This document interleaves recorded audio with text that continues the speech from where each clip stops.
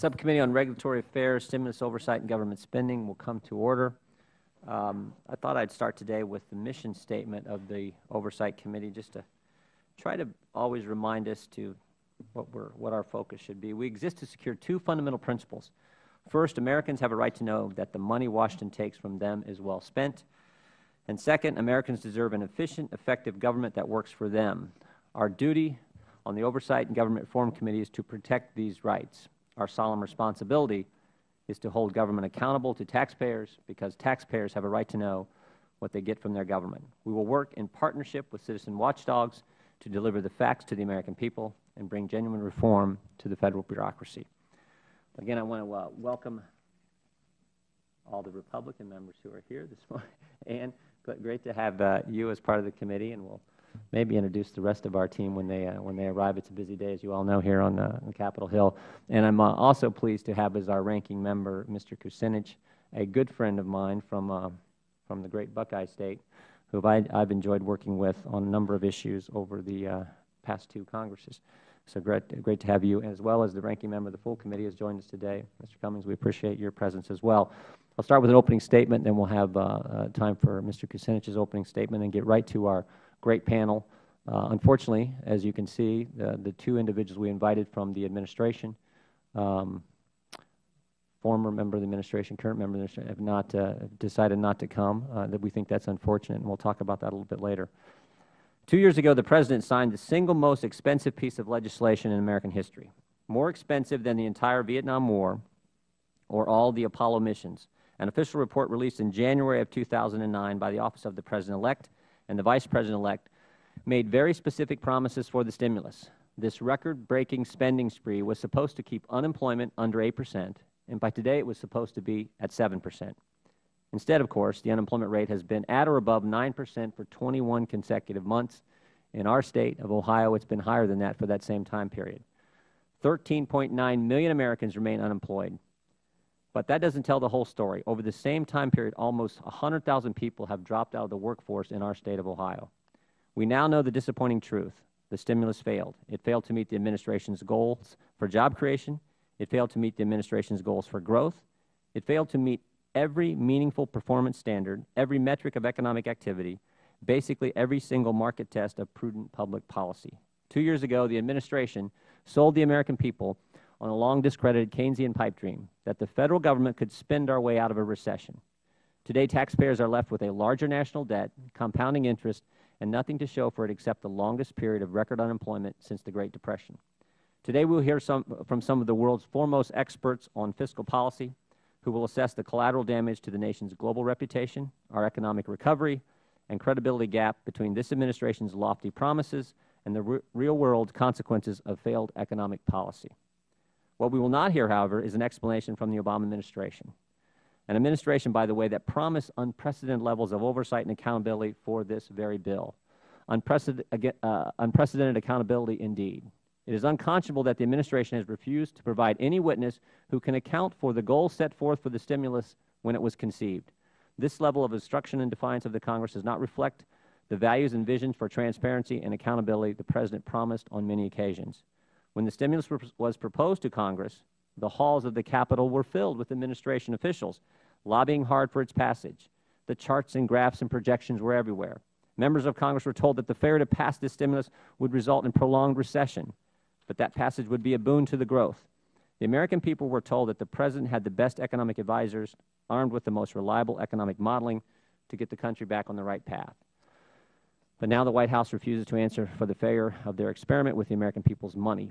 We invited two of the architects of the economic rationale for the stimulus to testify, testify here today, Dr. Christina Romer and Dr. Jared Bernstein. Both refused to appear. We've given the Administration the opportunity to discuss the stimulus in the context of the policy's original goals, metrics, and promises. Today, there are two empty chairs where Dr. Romer and Dr. Bernstein should, uh, should be sitting.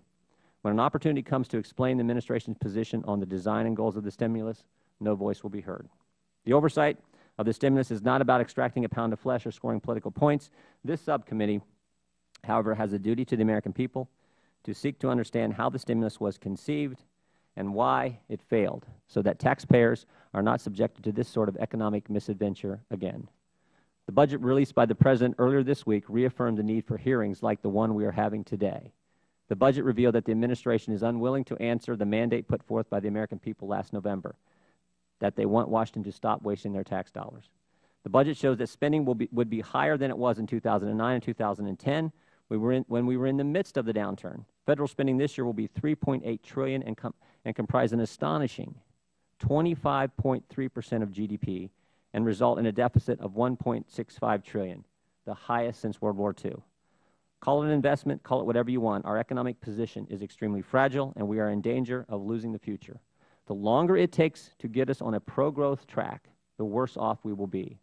This hearing, in my mind, is the first step in understanding why the President's policies have failed, why doubling down with more spending and more borrowing will only result in more of the same poor results that has left our great nation in this precarious economic situation. With that, I would yield time to our distinguished ranking member, the gentleman from Ohio, Mr. Kucinich. Uh, Mr. Chairman, good to be here today. Uh, I, I, want to point out that um, in terms of the invitations, uh, that uh, your staff invited one private citizen, one public citizen who were unable to attend today's hearing. Uh, I've been informed that the administration offered to provide two other high-level administration officials, notably a Deputy Secretary of Commerce and a Deputy Assistant Secretary for Transportation Policy from the Department of Transportation. And I, have been told that uh, your staff declined and further said the administration didn't want to make anyone available to talk about the stimulus program. I just want to point out for the record that uh, two top administration officials were ready and willing to come today. And, and I, I, think it's appropriate that we, we, review the stimulus. I have no problems with that whatsoever. Um, my point of view, a little bit different. I think that the Recovery Act was too small. Uh, the economy is still fragile. We have an unemployment rate over 9 percent. Uh, the depth of the recession was greater than predicted. Those who argued that the stimulus package was too small accurately predicted the severity of the recession was much worse than any economist uh, initially thought.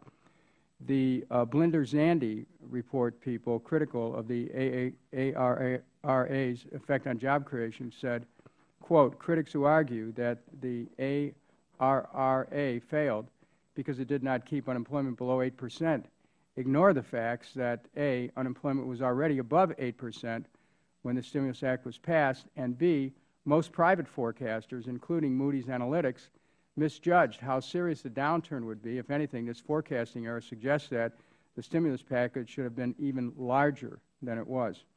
And the same report also notes, while the strength of the recovery has been disappointing, this speaks mainly to the severity of the downturn. Without the fiscal stimulus, the economy would arguably still be in recession, unemployment would be well into double digits and rising, and the nation's budget deficit would be even larger and still rising. So Americans need to get back to work, which means our government is going to need to continue to spend in order to increase demand for goods and services. Public spending is necessary to get us out of this recession. Uh, you know, we gave, we gave significant tax breaks to the, to the private sector. And if the private sector hasn't used that to create jobs, if the money that went to Wall Street didn't use, uh, didn't cause the private sector to create jobs, then the public sector has a responsibility to create the jobs in order to uh, get us out of this recession. Uh, today, throughout the day, I'll be pointing out that the, the Recovery Act succeeded in avoiding a recession that could have been worse, that uh, there was an increase in GDP and job growth, that the stimulus impacted the recession quickly, and there, uh, according to Blinder and Zandi, it, there was a Great Depression averted. I, I want to point out that, um, uh, and, and, I'm not the only one who's pointed this out. As a matter of fact, there's a book that's uh, just uh, been released recently called The Great American Stick-Up. Uh, it talks about how Republicans and Democrats enriched Wall Street while mugging Main Street. So we're, you know, we're, we're both here trying to clean up a mess that's actually been created by people in both parties. And when you look at deregulation, deregulation was a failed policy. You know, we've had a full committee hearing where we have people testify about the financial service industry was inadequately regulated for decades. And you've got somebody in one of the publications today uh, trying to um, uh, still discount rules on derivatives, which sets the stage for another boom-bust cycle. And then you've got to look at the war. Uh, CRS uh, uh, has a report that says the cost of the war for the last, uh, since Iraq and Afghanistan have come into our awareness, have been about 1.2, 1.3 trillion dollars. Now, this administration has actually accelerated spending on Afga- in Afghanistan. And the Democrats, my party, accelerated spending in Iraq in 2007. Uh, both parties have responsibilities here. And, uh, you know, but the cost of this, the wars are taking our ability to be able to do a budget, they're just, just destroying it. And when you consider now that we have more information about the war in Iraq being based on untruths, when we have more information about the corruption of the Karzai administration and, and the total loss and waste of American tax dollars, you see that there's policy changes called for that both parties are going to have to come together and do something about. And one thing that I have confidence in is that, uh, is that Mr. Jordan uh, and I uh, do have the ability to work together. We, we may not agree on, you know, on things, but we do have an ability to work together, and maybe this, this working relationship can create some circumstances where we can come up with some common sense approaches that will enable our country to get back on, on good footing. So I'm glad to be here with you, and let's, um, uh, let's go to the, the witnesses. I thank the, uh, the gentleman. Uh, I would just point out a couple things. This, uh, the, the, his comments. This administration has uh, certainly increased spending on everything. Um, th that is true. And, and again, uh, two deputy secretaries, as offered as witnesses by the administration, I think just doesn't meet the test when you think about this being the most expensive piece of legislation in American history. We wanted the architects. We wanted the people who put it together, who who were the ones who understood the modeling and the reasons that they put the, the bill together. We wanted them here. And frankly, when you think about the mission of this committee, uh, it seems uh, very appropriate when we're talking about the amount of taxpayer money that was put into this legislation to have the folks who put it together come and testify. May, may I uh, certainly, respond certainly. briefly? Uh, I agree with the gentleman that, uh, uh, that the gentleman, as chair, uh, has the right to ask anybody to testify.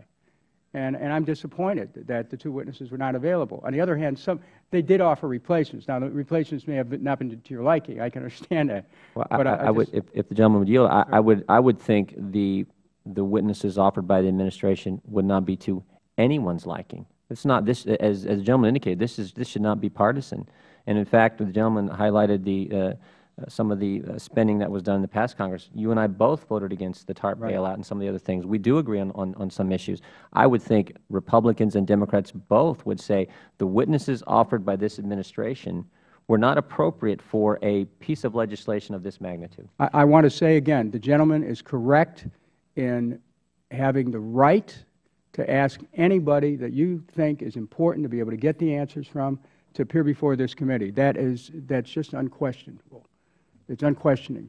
I'm just stating that someone was offered and uh, they, they were turned down. So thank you. Okay.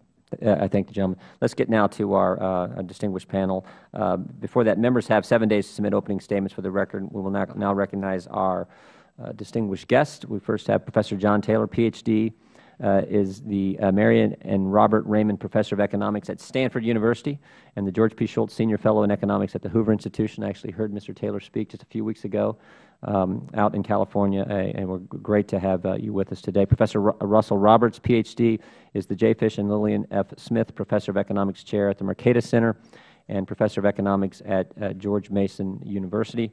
And Dr. J.D. Foster is the Norman B. Ture Senior Fellow in Economics of Fiscal Policy at the Heritage Foundation. It is the policy of the committee that all witnesses be sworn in before testifying. Um, so if you would please rise and raise your right hand. Do you solemnly swear or affirm that the testimony you're about to give this committee will be the truth, the whole truth, and nothing but the truth? Let the record reflect that all witnesses answered in the affirmative. Thank you, and we'll start with Mr. Taylor. Thank you, Mr. Chairman, um, Ranking Member Kucinich, for inviting me uh, to speak today. My research on the uh, Stimulus Act of 2009 uh, shows that it had had um, no significant positive impact on the economy that we can measure. And indeed, I think the legacy in terms of increased debt and uncertainty uh, is harmful uh, for the economy. In my view, this really shouldn't come as a surprise. Uh, research on previous types of discretionary countercyclical ac actions like this from the past, from the 70s, even more recently than that, uh, shows problematic results, if you like. Um, what I've tried to do in my written testimony is provide facts, provide what actually happened, rather than trying to simulate uh, models that, about which there is considerable disagreement. When you look at the facts of ARRA, you see, according to the Department of Commerce, according to the Bureau of Economic Analysis, three main ways in which the money went out, and it's important to trace the money. Uh, first, uh, Federal government purchases of goods and services, including infrastructure. Uh, second, grants to the States uh, with the intent that they would increase infrastructure spending. And third, temporary transfer payments to individuals, such as a $250 uh, check sent out uh, last, in, in, last year in 2000, 2009 mainly. Now, when you look at these uh, carefully, uh, you see some really, I think, striking facts. First of all, a very small amount of infrastructure spending came from the Federal level. It's amazing, only 0.04 percent of GDP went to infrastructure spending from the Federal level. This is by any measure immaterial and could not plausibly be a factor uh, in the recovery that's sometimes mentioned. Economists sometimes debate the size of the multiplier. It is irrelevant when the thing the multiplier is multiplying is so teeny. When you look at the grants to the states, of course, these were substantial. But you also look at what the states actually did with the funds. They did not increase infrastructure spending. In fact, they didn't even increase purchases of goods and services as measured in the national income and product accounts. Instead, it looks like these funds were used to reduce the amount of borrowing and perhaps increase other kinds of transfer payments to individuals. Again, it just couldn't have had an effect based on what the data show. And then finally, the temporary transfer payments to individuals, which were substantial in magnitude. The purpose, of course, was to jumpstart consumption. People would spend this money. Uh, but when you look at what happened, they didn't spend the money. For the most part, it too was used to increase saving, uh, draw down some of the debt, and reduce the borrowing. This was not was the way it was supposed to work. This, in fact, is what economics would tell you. Temporary payments like this do not stimulate consumption in appreciable magnitudes. We've seen that in the past. We saw that as uh, even back as short ago as 2008. Again, this is what one would have predicted.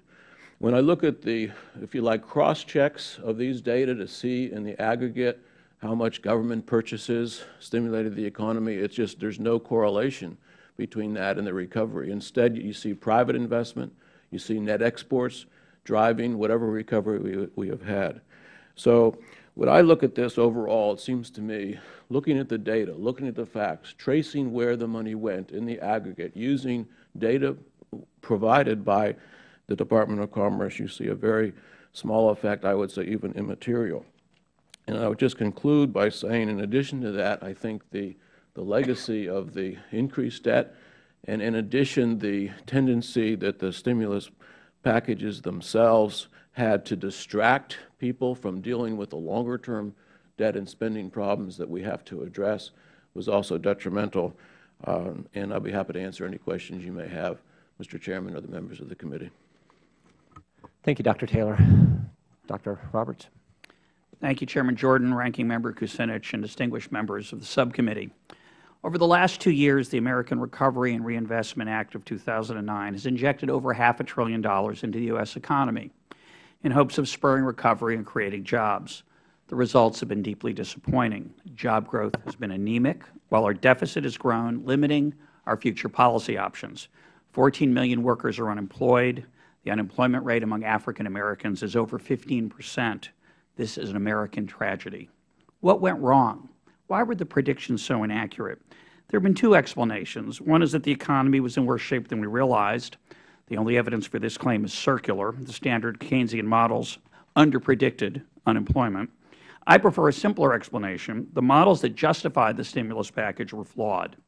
Those models were broadly based on the Keynesian notion that the road to recovery depends simply on spending. In the Keynesian worldview, all spending stimulates, somehow subsidizing university budgets in the Midwest or paying teachers in West Virginia helps unemployed carpenters in Nevada. That may be good politics. It is lousy economics. This isn't the first time the Keynesian worldview was wildly inaccurate in predicting the impact of changes in government spending. Look at World War II. We frequently hear from Keynesians and others that the military spending of World War II ended the Great Depression. Certainly unemployment fell to zero because of the war, but did the war create prosperity or a boom? There was a boom for the industries related to war, but there was little prosperity for the rest of the country. The war was a time of austerity. Government spending didn't have a multiplier effect on private output. It came at the expense of private output. What about the end of the war, when government spending plummeted? Paul Samuelson, a prominent Keynesian, warned in 1943 that when the war ended, the decrease in spending, combined with the surge of returning soldiers to the labor force, would lead to, quote, the greatest period of unemployment and industrial dislocation which any economy has ever faced. He was not alone. Many economists predicted disaster. What happened? Government spending plunged from 40 percent of the economy to less than 15 percent, and prosperity returned to America. Unemployment stayed under 4 percent between 1945 and 1948. There was a short and mild recession in 1945 while the war was still going on, but the economy boomed when government spending shrank and price controls were removed. We are told that the failure of the current stimulus proves it simply wasn't big enough to get the job done. But it is equally plausible the opposite is true, that government intervention in the economy prevented the recovery. The truth is, our knowledge of the complex system called an economy, as modern as the United States, is woefully inadequate and may always remain that way. We ask too much of economics. Even our best attempts to measure the job impact of the stimulus make this clear. In November of 2010, a few months ago, the CBO estimated the stimulus had created between 1.4 and 3.6 million jobs, not a very precise estimate. But even this estimate was more of a guess than an estimate. The CBO estimates didn't use any of the actual employment data after the stimulus was passed. Instead, they based their estimates on pre-stimulus relationships between government spending and employment, relationships that failed to predict the magnitude of our current problems. The CBO's results and those of other forecasters using multi-equation models of the economy are not science. They are pseudoscience, what the economist F. A. Hayek called scientism, the use of the tools and language of science in unscientific ways. So where does that leave us? Let's get back to basics. When you are in a hole, stop digging. Stop running deficits of over $1.5 trillion and counting. Act like grown-ups. Get your fiscal house in order. Stop spending 25 percent of what we produce. Stop wasting my money and giving it to your friends. Stop passing legislation that makes it hard to figure out what the rules of the game are going to be. Get out of the way. Make government smaller and give us a chance to do what comes naturally, seeking ways to make profit, avoid loss, and work together. That's the only, that is the only sustainable path to recovery and prosperity. Thank you very much. Thank you, Doctor. Dr. Foster. Thank you, Mr. Chairman, members of the committee. I appreciate the opportunity for allowing me to testify before you today. At best, economic stimulus efforts based on deficit spending and tax cuts with little or no incentive effects have done no harm, at best. It is possible to stimulate the economy during and after a recession by improving incentives to work and produce, by reducing uncertainties regarding future policy, by expanding foreign markets for our goods and services, Recent efforts have been unsuccessful because they did none of these things. Regulations increased, uncertainty increased, tax distortions were left in place, and efforts toward free trade have been anemic. Stimulus can work but has not worked because the Administration took the wrong approach, emphasizing incentive-neutral tax relief and massive increases in deficit spending. As he often remarks, President Obama inherited a ballooning budget deficit. His response, to push the deficit higher, and with his most recent offering, he has reached new highs. Fortunately, the recovery is underway, uneven, stronger in some areas than others, but recovery nonetheless. The underlying strengths of our free market system are once again at work. But make no mistake, our economy is recovering despite, not because, of stimulus efforts. The heart of the Administration's policy is the equivalent of fiscal alchemy. Alchemy is the art of transmuting metals, referring specifically to turning lead into gold. Fiscal alchemy is the attempt to turn government deficit spending whenever, wherever, and on whatever into jobs.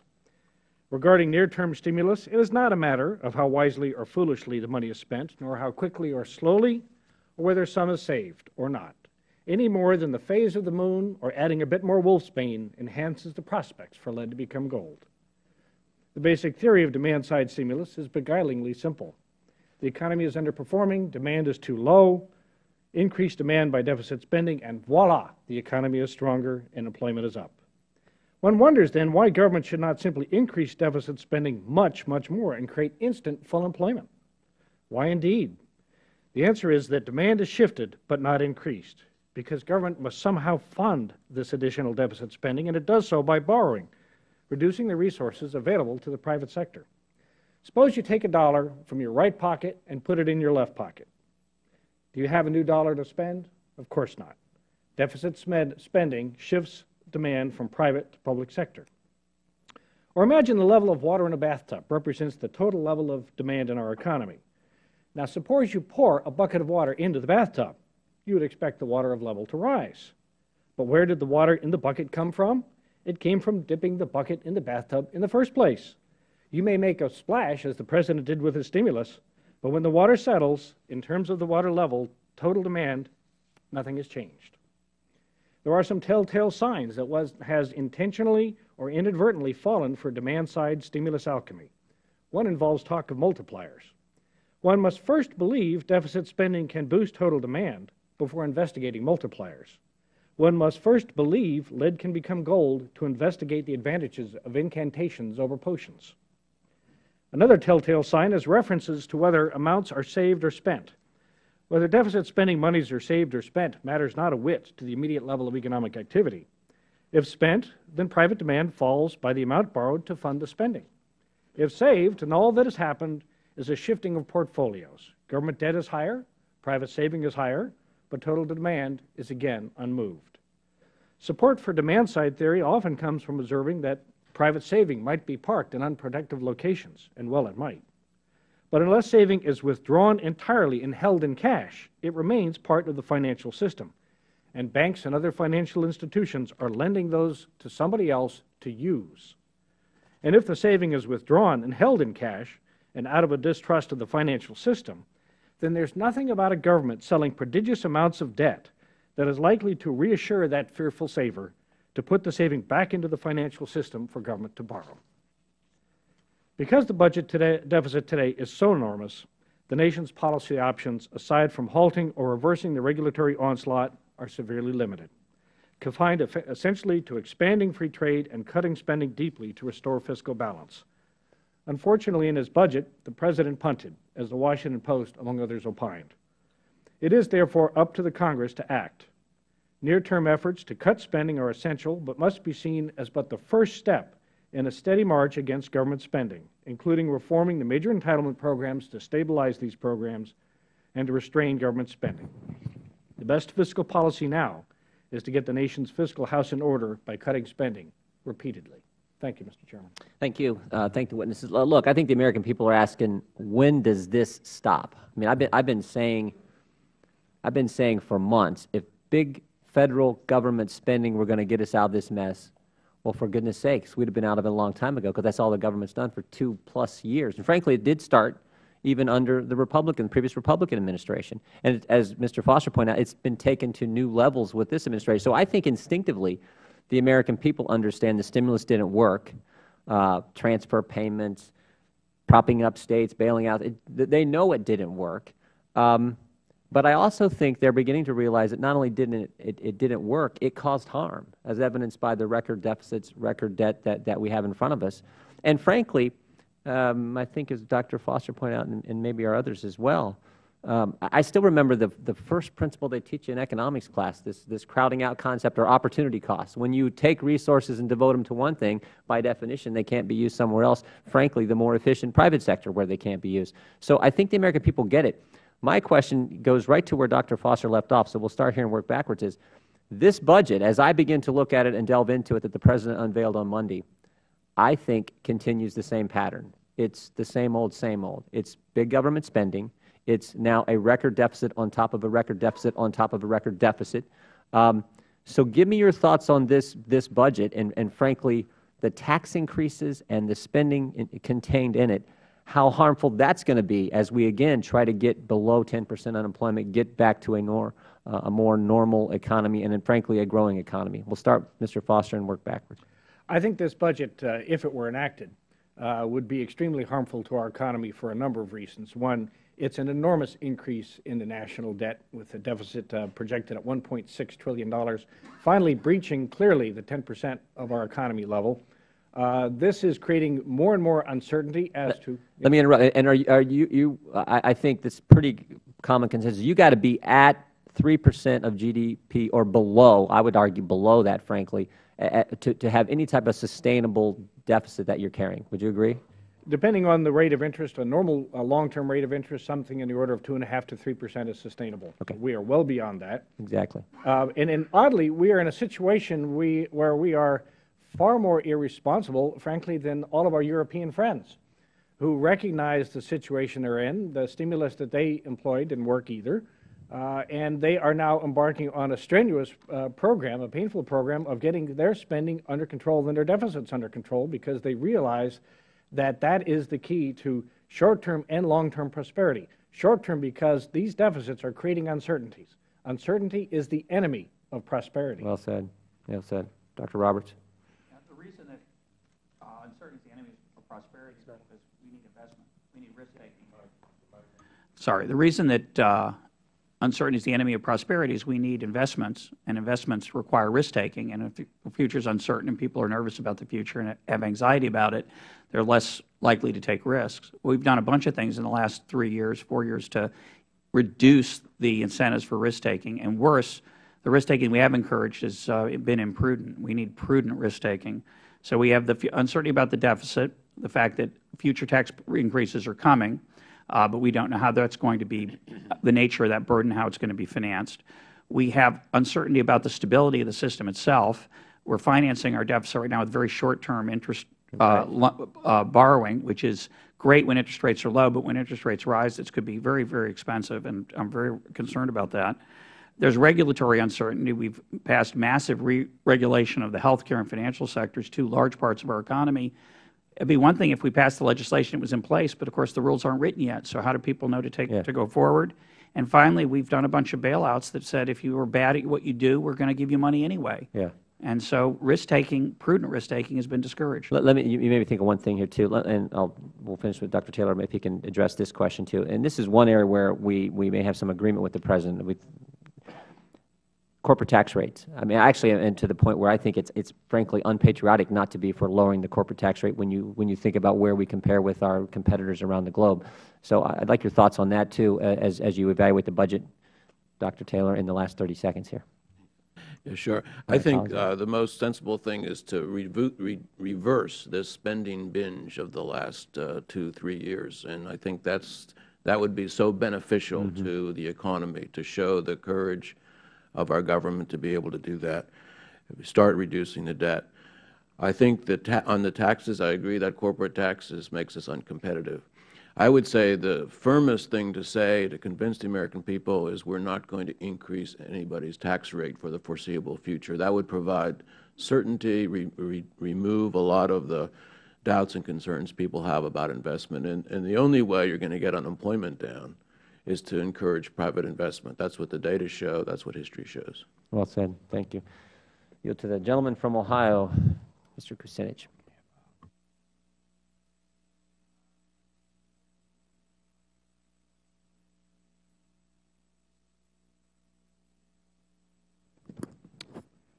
Uh, I I thank the uh, gentleman. I have some questions for uh, Professor Taylor, but before I begin, I just want to make some observations here. To have this discussion about the state of the economy without getting into the fact that the tax cuts that were sponsored by the Bush administration cost us $1.2 trillion, that the wars, which both parties have participated in, have cost us roughly about $1.2 trillion. We have a trade deficit right now of 497.8 billion, according to the latest U.S. Census.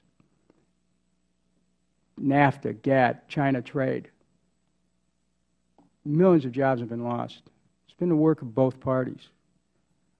We have uh, maybe close to 15 million people unemployed, and when you look at the boom-bust cycle that was created by um, the lack of regulation of over-the-counter derivatives, that where Warren Buffett himself in 2002 condemned these over-the-counter derivatives as financial weapons of mass destruction. This is uh, as uh, recounted in uh, Bob Scheer's book, The Great American Stick-Up. When you, when you look at the $700 billion bailout, when you, when you, which Mr. uh, Jordan and I both voted against, when you consider that Wall Street is recovering and Main Street is not, that stock prices are going up, but the regulations that need to be in place to stop another boom bust cycle, it's still pretty shaky as to whether we'll be able to avoid that. I, I, th I think that you know the testimony that we have here is very interesting, uh, but um, maybe you don't even have enough time to get into this, but it's, inevitably incomplete. Okay? We have to have a complete picture of how we got to where we are, and, and it has to be really not driven by partisanship, which, which I don't see my uh, colleague here is a very partisan person, but it has to be delivered. You know, we have to fo focus on the facts. Now, Professor Taylor, your testimony concludes with these statements. Many evaluations of the impact of ARRA use economic models in which the answers are built in. And you also say that, quote, uh, uh, you also say that approach makes less uh, use of simulations of existing econometric models, although it uses general theories such as the permanent income theory or similar theories of government behavior. Now, Professor Taylor, earlier this month, Dartmouth economists writing for the National Bureau of Economic Research published a paper, which I, I moved to uh, put into the record without objection, uh, that, that found a positive effect of the stimulus on a state-by-state basis. Uh, the authors acknowledged that their approach probably understated the effect, although it was none, nonetheless significant. Uh, Professor Taylor, is it your testimony today that the NBER uh, analysis of the stimulus was erroneous because, as you said, many studies had the answers built in?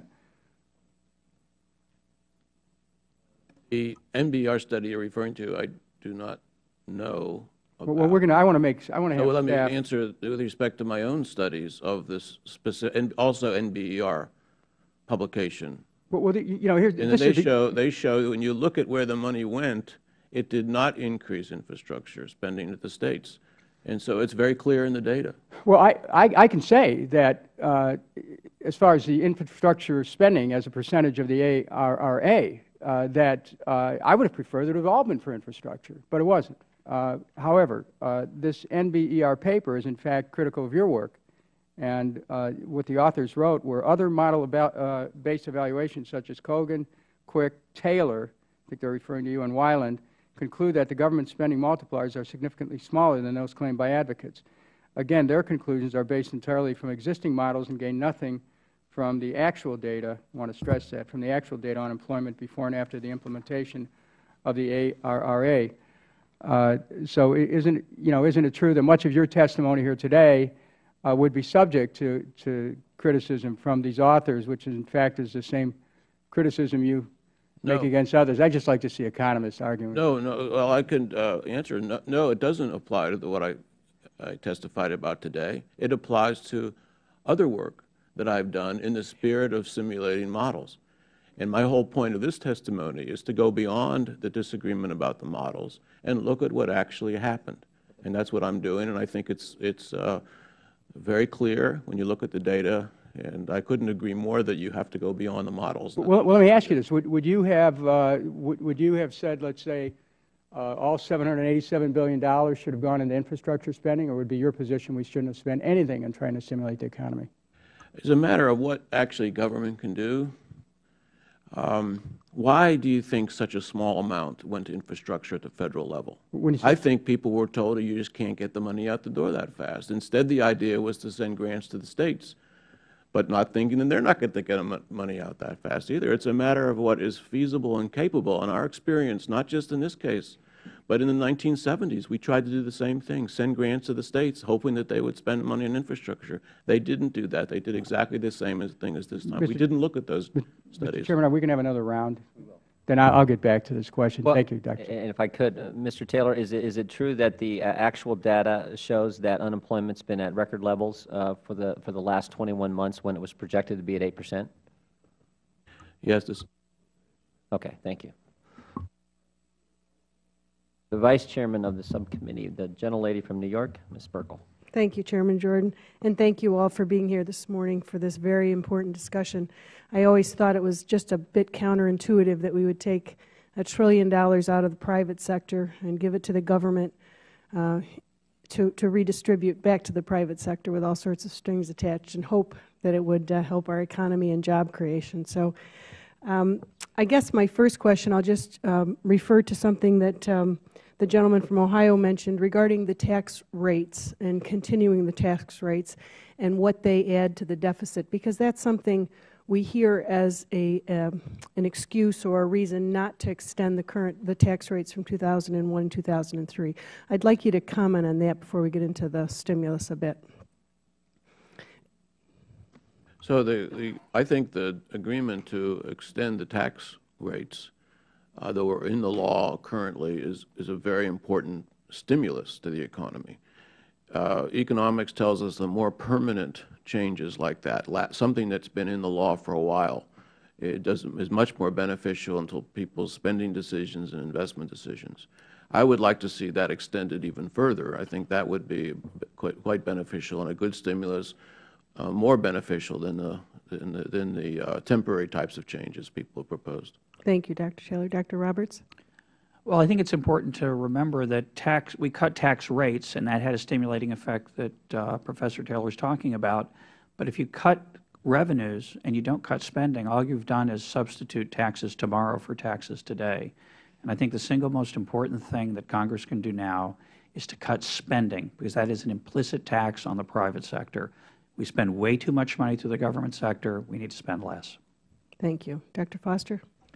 Uh, I agree with Dr. Taylor that uh, it's terribly important that we uh, extend for a much more uh, longer period of time, if not make permanent, the tax relief that was enacted under President Bush. Uh, that uncertainty about the outcome of that policy had a major depressive effect on the economy last year. Mm -hmm. and those decisions will feed on into next year. It, it, reduced investment, which is going to be a driver going forward. Uh, but it is also terribly important to get the spending down now. Uh, that is probably at this stage the most stimulative policy that we can enact to get spending under control, the deficit down, reassure credit markets that we do intend and will get our fiscal house in order. Thank you. My next question, and it's to all three of you again.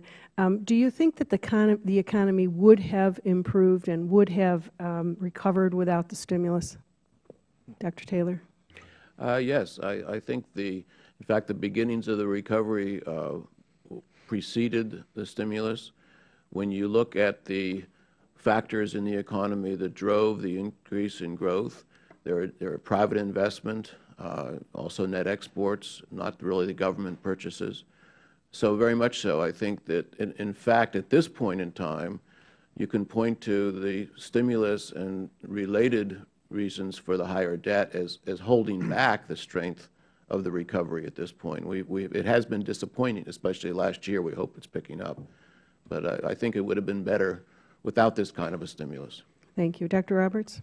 The only thing I would add to that is the um, funneling of money, federal tax money, to the states encourages their misbehavior. I think it's extremely important that people live beyond their means uh, learn to change their behavior. And we continue to enable that, and we just push off the date of reckoning down the road I think that's irresponsible, and um, I think we ought to be changing those incentives. Thank you. Dr. Foster? As I testified, I believe we could have enacted stimulus that would have helped, but the President chose a different path. He chose a path that was not going to be effective because you do not add money to the economy by first taking money out of the economy, and that's the fundamental flaw of the theory. And thus, I think on balance, we would have been better off. At best, this policy did no harm, at best. Thank you.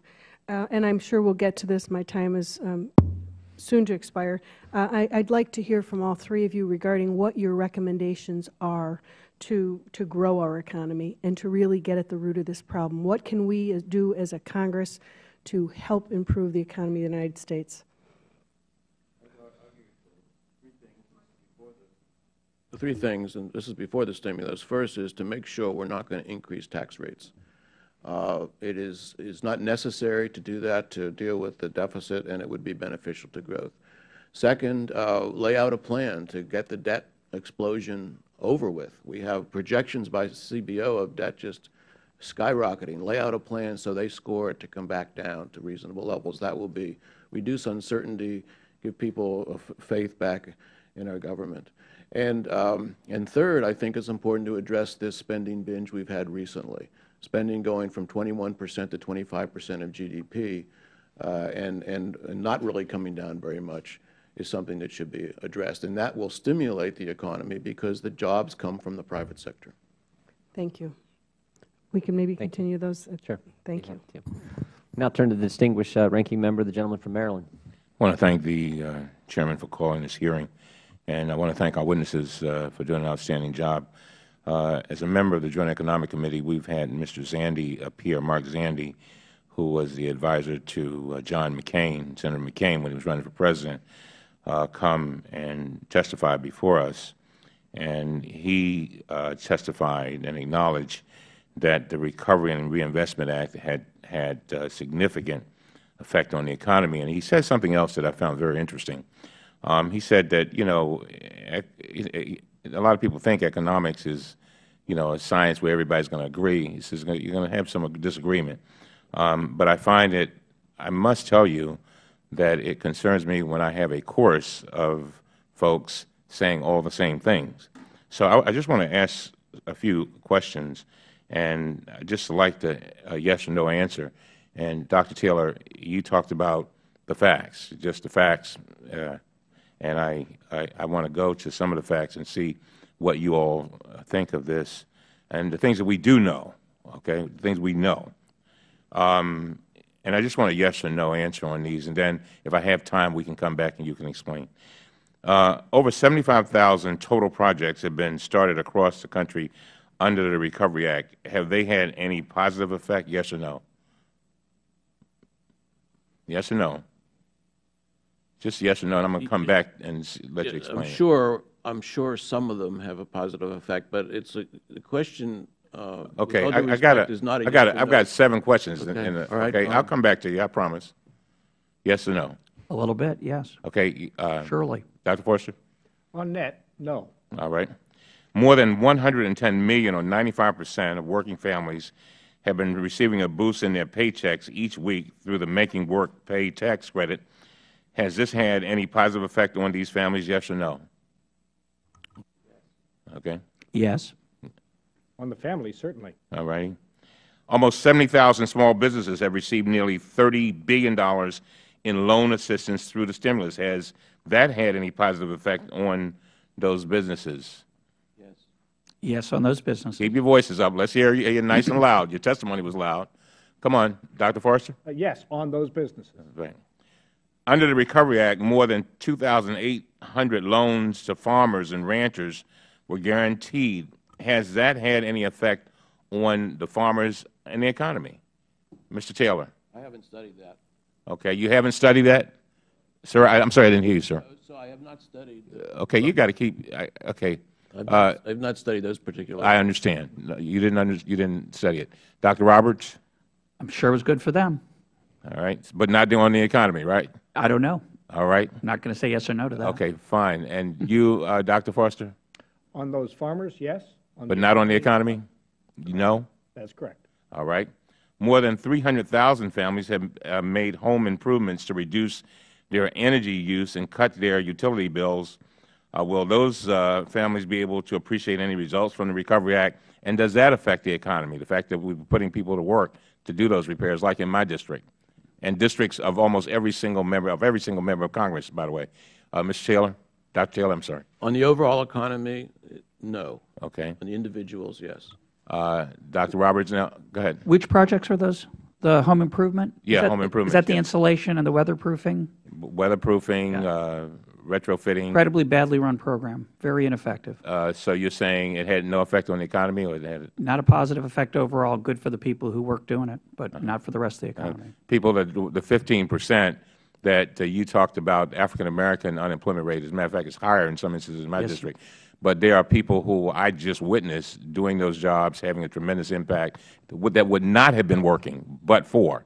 But you Perhaps. said say no effect on the economy. Perhaps they might not have been working. It's hard, no, to- it's, it's hard to no, know. it, they would not have been. Believe me, I live there. All right, Okay. Well, I'm glad for them then. All righty. That's great. uh, Dr. Forster, how about you? Uh, On the economy, no effect. For those families, I can't judge their decisions. I presume they made wise decisions for themselves. The Department of Housing and Urban Development has rehabilitated over 409,000 homes and built 5,700 new homes, will, will the families who reside in those homes experience any benefits from the Recovery Act, and does that affect the economy in a positive way? The individuals who benefited from that are benefiting. The overall economy, no. Ditto. You going to ditto too? I'm going to ditto. You Trying to a move it along. We've got a great course here. Trying to help you. Under, under the Recovery Act, more than 4,000 Department, and this is my last question with the indulgence of the uh, Chair, 4,000 Department of Defense construction and improvement projects have been started at over 350 military facilities. These include the construction or improvement of military hospitals and 25 uh, child development centers.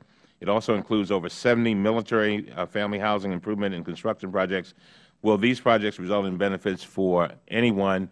Does it, do they affect the economy, or did they affect the economy in a positive way? And Uh, we'll start with you, Dr. Forrester. In the aggregate, no, sir. Yes. Don't know.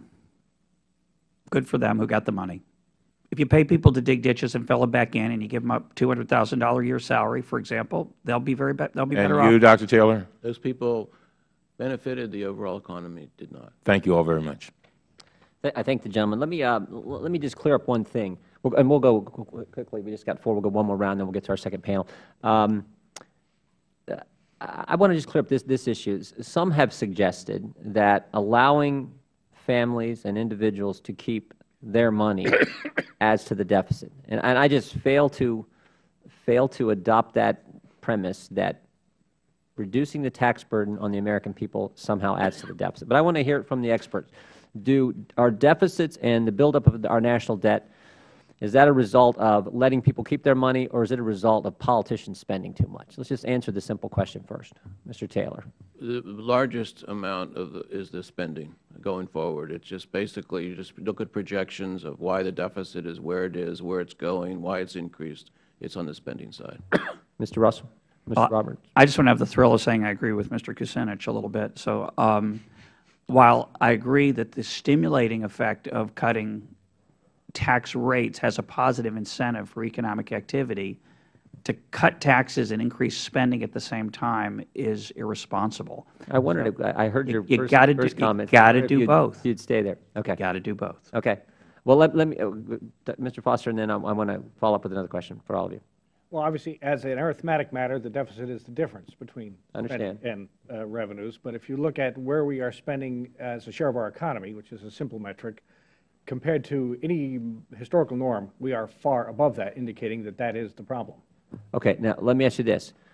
I, I would argue the problem is so big. Deficits, we're running record deficits, piling up $14 trillion in, in, in debt, so big that we, we have to get after the spending right away. But to ultimately deal with this thing, you've got to have economic growth. There is no way you can, you can get to a balanced budget, get to the, get this ship headed in the right direction, get to where we need to go if you do not have economic growth. And allowing the private sector, allowing families, small business owners, individuals to keep more of their money, I contend, is central to having economic growth. And I would argue lowering the corporate rate as well and, and regulatory policy, I get all that. But I would argue uh, keeping those taxes low, allowing families to keep more of their money is fundamental to getting the economic growth we're ultimately going to need to dig ourselves out of this mess. And I'd like I- your I agree. My, my proposal and recommendations is to not increase tax rates and to deal with this deficit and debt problem by reversing the recent spending binge and getting spending back to where it was as a share of GDP. Okay, let me ask you this then. And, and would you agree that where the, the continuing resolution is, um, would you agree this is a good first step in, in, in saving the taxpayers uh, approximately $100 billion over the rest of this fiscal year is, is a- a Yes, I think getting, getting spending back to 2008 is the excellent first step. Okay. Dr. Roberts? But it's a baby step. You need, you got to take a bigger step. Yeah, It's one just- fif- it's one fifteenth of the deficit. The rounding I get it. error, it's a deck chair off the Titanic. I mean, it's just nothing. I get it. Um, I get it. But, but I think, again, if you want to cut taxes, the way you want to do that is cut spending. I believe with what, I agree with what Milton Friedman said. What's important isn't how we finance what government does. What's important is what government does and how much of it. Because of this basic point, spending leads to borrowing, which is just another Which is form more of future taxation. taxes. So if you right. cut taxes, especially if you don't cut tax rates, you just give people money back and you continue to spend, you haven't encouraged economic activity. You've told people we're going to take money out of your hide later. Well said, well said, well said. Mr. Foster? I think there's one area in which economists have a broad consensus at this point, rare as it is, and that is that economic growth is the driver for deficit reduction above all. Uh, the key to economic growth, as the President himself has said, is the private sector. And the way to get the private sector moving forward at this point, from a Washington perspective, is greater certainty. Don't raise taxes, certainty about tax policy, suspend the regulatory onslaught, and get spending under control so they have some ability to forecast what government is going to be doing. Yeah, let me just finish with one, one last point with you. Earlier you said, uh, Dr. Foster, that um, there was a stimulus package that, that could have been put together that you actually thought would make some sense. Describe that for me. Was it, as I suspect, was it the right kind of tax policy, right kind of tax cuts, and some infrastructure spending, or was it something else that you had in mind? Uh, it certainly wasn't infrastructure spending. Okay. As Dr. Taylor pointed out, you can only push so much money out that pipeline, and in the end, it wouldn't have made any difference to the immediate uh, economy. Uh, a, an effective policy which would have been effectively no cost, would simply be to say at the beginning of 2009, we will not raise taxes. We will not raise taxes until the unemployment rate gets down to full employment, and we can have a debate about mm -hmm. what tax policy should be. If we had simply done that and eliminated the uncertainty about tax policy, our economy today would be a lot stronger. So you're arguing that the best stimulus package at the time, early 2009, when we were in the, the midst of this, this, this problem, the best stimulus approach at the time would have been to establish certainty, but in essence do nothing the best no-cost policy. Yeah. If we were willing to use resources, the best policy would have been to take whatever we otherwise would have spent in, in the stimulus law and use it to reduce the corporate tax rate, which even the President now acknowledges must be done. Great. Thank, great point. Thank you. Go to the ranking member. It's really mystifying to hear witnesses extol taking the uh, wraps off the private sector when you consider that the reason why we went into the dumper was because you had the Financial Modernization Act passed, which permitted, which basically took down the Glass-Steagall firewalls, which separated commercial banking from invested banking, investment banking, and permitted this over, the avalanche of over-the-counter derivatives, the black box uh, investing that went on that created the crash that we had. And now we're saying, well, if only the private sector, read Wall Street, can have its way again. Look, they already took the country over the cliff once. I think we ought to be in a position here where we at least recognize what happened so that we don't let it happen again.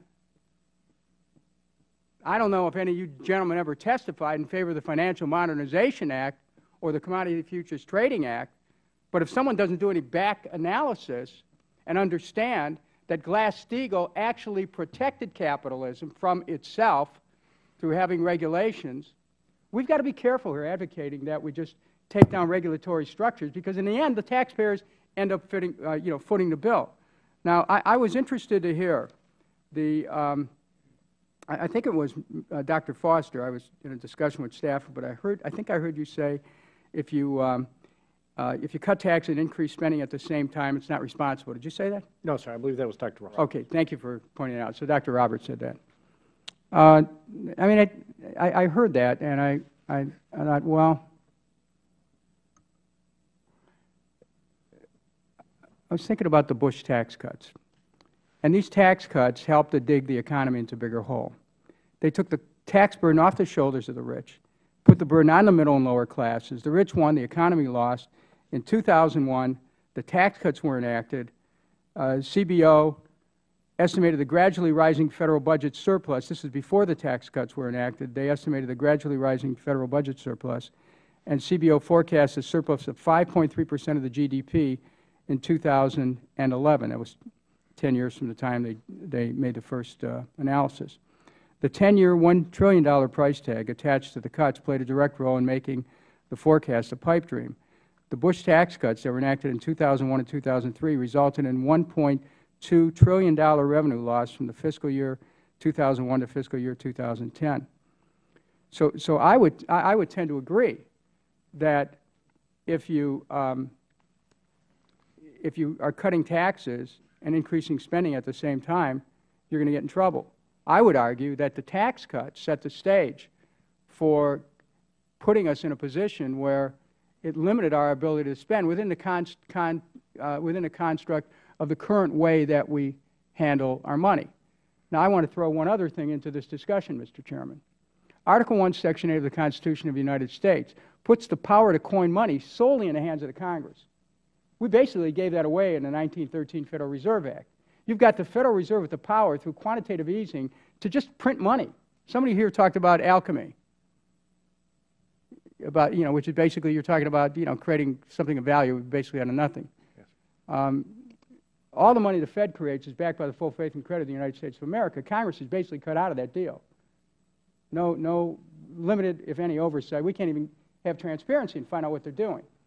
So, so I'm thinking that, um, that when we start to address issues like the economy, and when we start to, you know, attack uh, the ARRA as being somehow at the epicenter of this whole thing, please, it's almost laughable because this, you know, you have to talk about tax cuts, the impact, you have to talk about the war, you must talk about the trade deficit, and if we're really going, and, and to look at it from what happened under both parties, to be able to really get to the bottom of what's going on in our economy.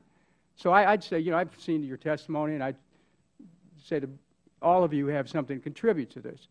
But uh, there, there aren't any high priests or priestesses when it comes to, uh, to the economy. I, I remember sitting in a committee with Alan Greenspan, who was the, the, the final arbiter in this town, or had been, on the economy. And here, here's what he said I made a mistake in presuming that the self interest of organizations, specifically banks and others, were such that they were capable of protecting their own shareholders and their equity in the firms. Now, if the best of the best gets mystified in this town, you know, who are we? I just say, let's look at some facts here. And, Mr. Chairman, I want to thank you for holding this hearing because it's the beginning of what needs to be a long and serious discussion about not only how we got here, but where are we going and how can we get people back to work. Without objection, I'd like to put in the, how the Great Recession was brought to the end by Zandi and Blinder. Without objection. Um, it's, ama it's an amazing day. We got Dr. Roberts who agreed with Mr. Kucinich. We got Mr. Kucinich coming full circle, agreeing with Ron Paul right here in front of all of us. Uh, uh, it, it's my, an, my it's, buddy. It's an amazing, uh, amazing day. Uh, did you want to say something? I just want to say uh, two quick things. When Alan Greenspan said he made a mistake, I think he was right. But the mistake he made was helping Wall Street socialize its losses with my money. And I am in favor of the private sector leading the, the recovery, and that would rule out Wall Street, which has been cushioned by Federal welfare from the Chair of the Federal Reserves going back to, and the Congress going back to 1984. So the single most important thing I think we need to do to get that straightened out is to stop bailing out losers on Wall Street, well which said. we have done systematically, and it's a huge problem. Well said. I, Uh, I did think you say he was, this is our witness? Yeah. He's, uh, well, we're, we're both in agreement with uh, that statement, Mr. Uh, Mr. Ranking Member. Yield to the gentleman from Idaho, Mr. Labrador. Thank you, Mr. Chairman. Gentlemen, thanks for being here. And I think to go full circle, I'm actually going to say that I agree with the ranking member on one thing that he has said, and that is both parties has, have brought us to, uh, to this brink of catastrophe that we're at. And, and it's one of the reasons that I ran for Congress is, is because I, I don't think this is a Republican problem or a Democratic problem. It's an American problem. And, and we've had um, uh, complacency and irresponsibility here in Congress for far too long. And now, where I do disagree with it, and, and I think what happens is that when, when you have um, what I used to call in my legislature the, the wing tip, or some people call it the wingnut coalition, where you have the left and the right, where they end up meeting at the same time, what ends up happening is that we reach a different conclusion. We both agree on the problem. We agree that, that we have been ir irresponsible, but we reach a different conclusion. I think all of you said that it's irresponsible to lower taxes and increase spending. But it seems that some people on the other side say then the conclusion is that we should increase taxes and increase spending. Um, and I think that's extremely irresponsible. I think what we should be doing is decreasing spending, decreasing taxes. But I have a question. The Tax Foundation has found, and they're talking about state level, so I want to, uh, you know, the, I've studied their, their state information. At the federal level, would it be smart for us to look at some of the exemptions that are out there? Because I, I do think we need to reduce the corporate tax. In fact, I would like to just zero it out. But at the same time, there's a lot of exemptions that are out there that are, uh, you know, pretty much picking winners and losers in the economy, and, the, and I, think, I don't think the government is very good at that. What would be your take if we start, yes, reducing corporate tax rates, but at the same time looking at some of the corporate exemptions that are out there? I think tax reform of that kind uh, makes a lot of sense, uh, reducing rates, if you like, and, and broadening the base by looking at uh, exemptions and loopholes. I would, though, at this point in time, say, to me, the problem is really on the spending side. And if you could get some kind of a consensus just to leave tax rates where they are for the time being, that would create certainty and, and remove a, like a cloud that people think taxes are going up rather than down. So I would focus on what's, what's feasible at this point. And uh, although the, it would be better to do the kind of reform you're talking about, I would be very happy to just leave rates where they are and work on this terrible spending problem that we have. So, so even not reducing the corporate tax rate? Well, I would like to do that, but you got to get you got to get something through this system Okay. here, and um, and it seems to me the spending is if it, that can help you on the spending side, if there's a tax reform like that that can help, and and that may indeed be the case, but I would say that, that to me. You know, two th the year 2000, spending as a share of GDP by the federal government was 18.2 percent. It's now 25 or so. That's a gigantic, gi- gigantic gap to get fixed. Uh, spending, uh, tax rates, tax revenues, when we get back to normal, will not be that much different. Okay. If I could get an answer from the other. Well, you know, the big issue here is that the corporate income tax should be zero. Most economists would agree that it should be zero. And the reason isn't because we should give money to corporations. It's because corporations don't pay the corporate income tax. Consumers do. It's a hidden tax, and it discourages investment and risk-taking. So tax simplification is a good idea. Broadening the base is a good idea.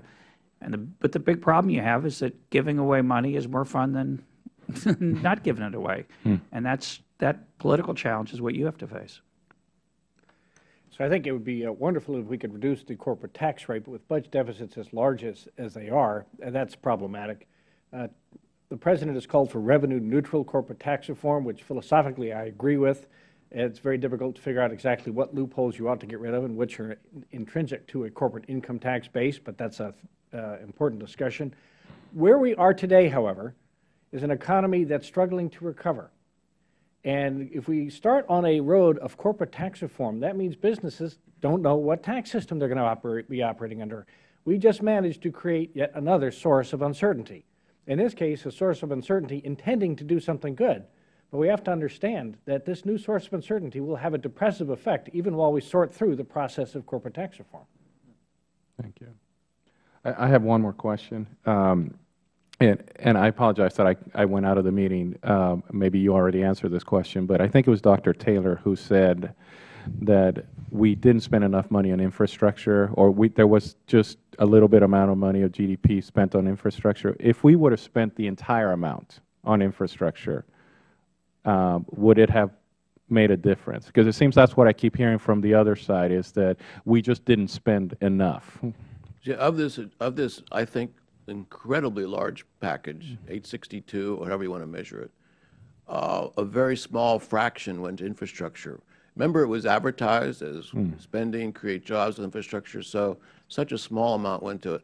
I think it's, that's the reality of these packages. That's what we found in the 70s when we tried this. You can't get money out the door that fast. It's just not, you can maybe accelerate spe- spending. It's already there, the permit's already approved. That's what I would have done. I'd just focus on accelerating some of that spending. But it's just not feasible. And so that's really why, why these packages, one of the reasons why these packages fail.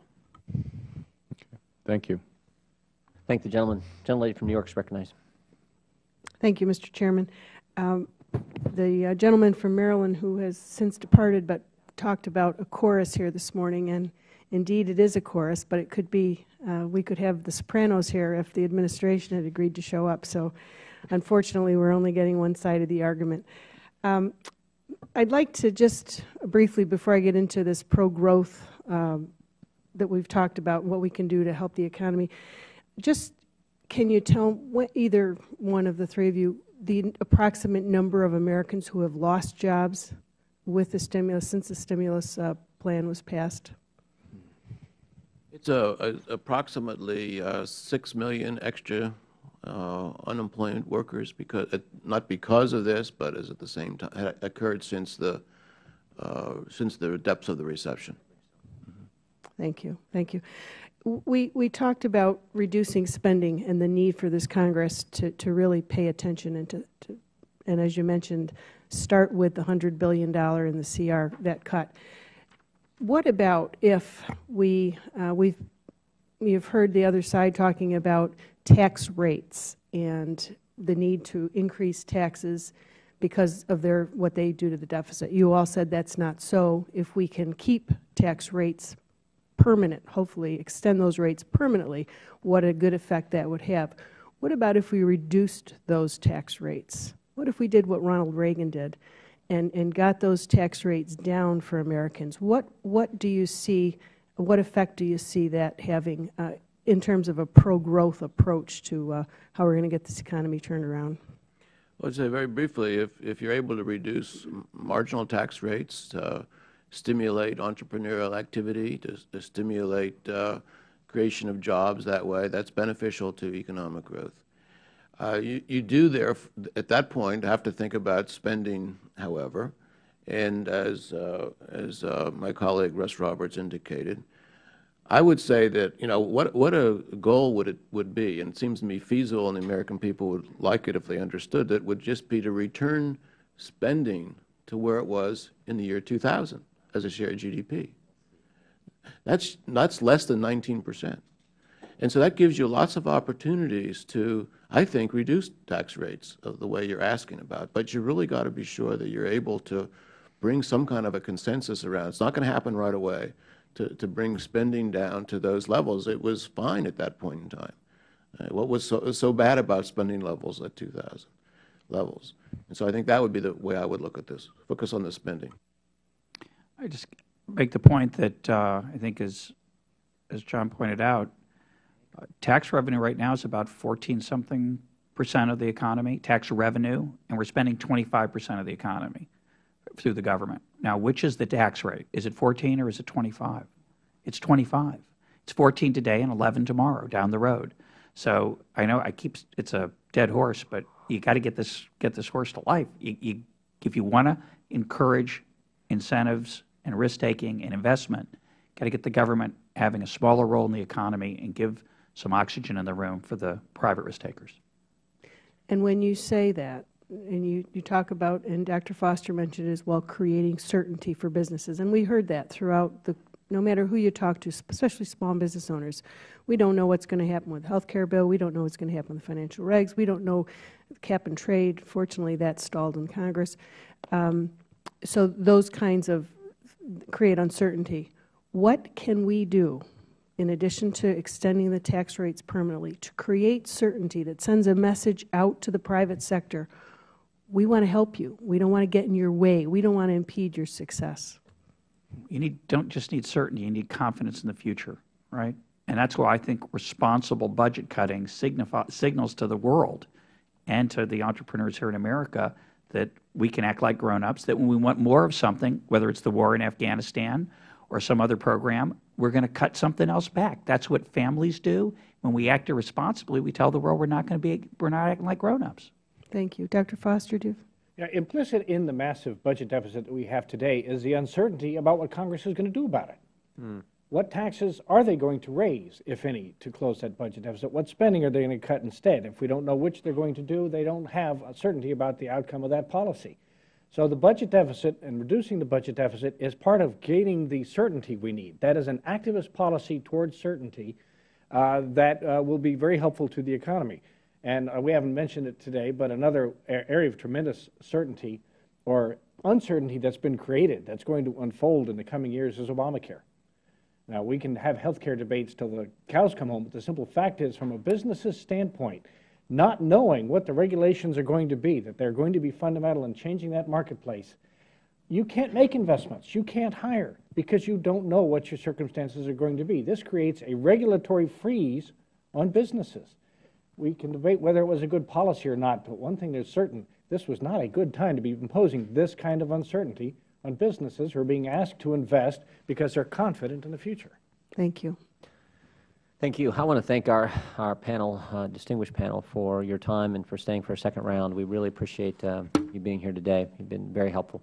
And we're going to move right to our second panel, uh, hear testimony, and so if the staff could get that set up um, for them, we'll, we'll go as quickly as possible, listen to testimony, do one quick round of questioning of the second panel.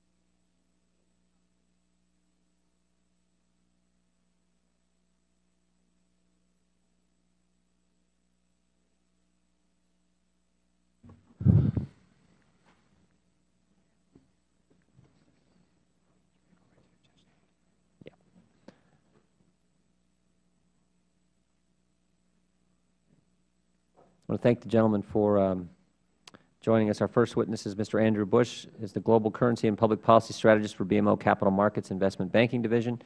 Mr. Alex Brill is Research Fellow at the American Enterprise Institute for Public Policy Research. Mr. Mr. Chris Edwards is the Director of Tax Policy Studies at the Cato Institute, and Dr. Josh Bivens is an economist at the Economic Policy Institute. Uh, it's policy of the committee to swear witnesses in, so we'll do this again quickly. Gentlemen, if we can. Do you solemnly swear, or, if you'll raise your right hand, do you solemnly swear or affirm the testimony you're about to give this committee will be the truth, the whole truth, and nothing but the truth?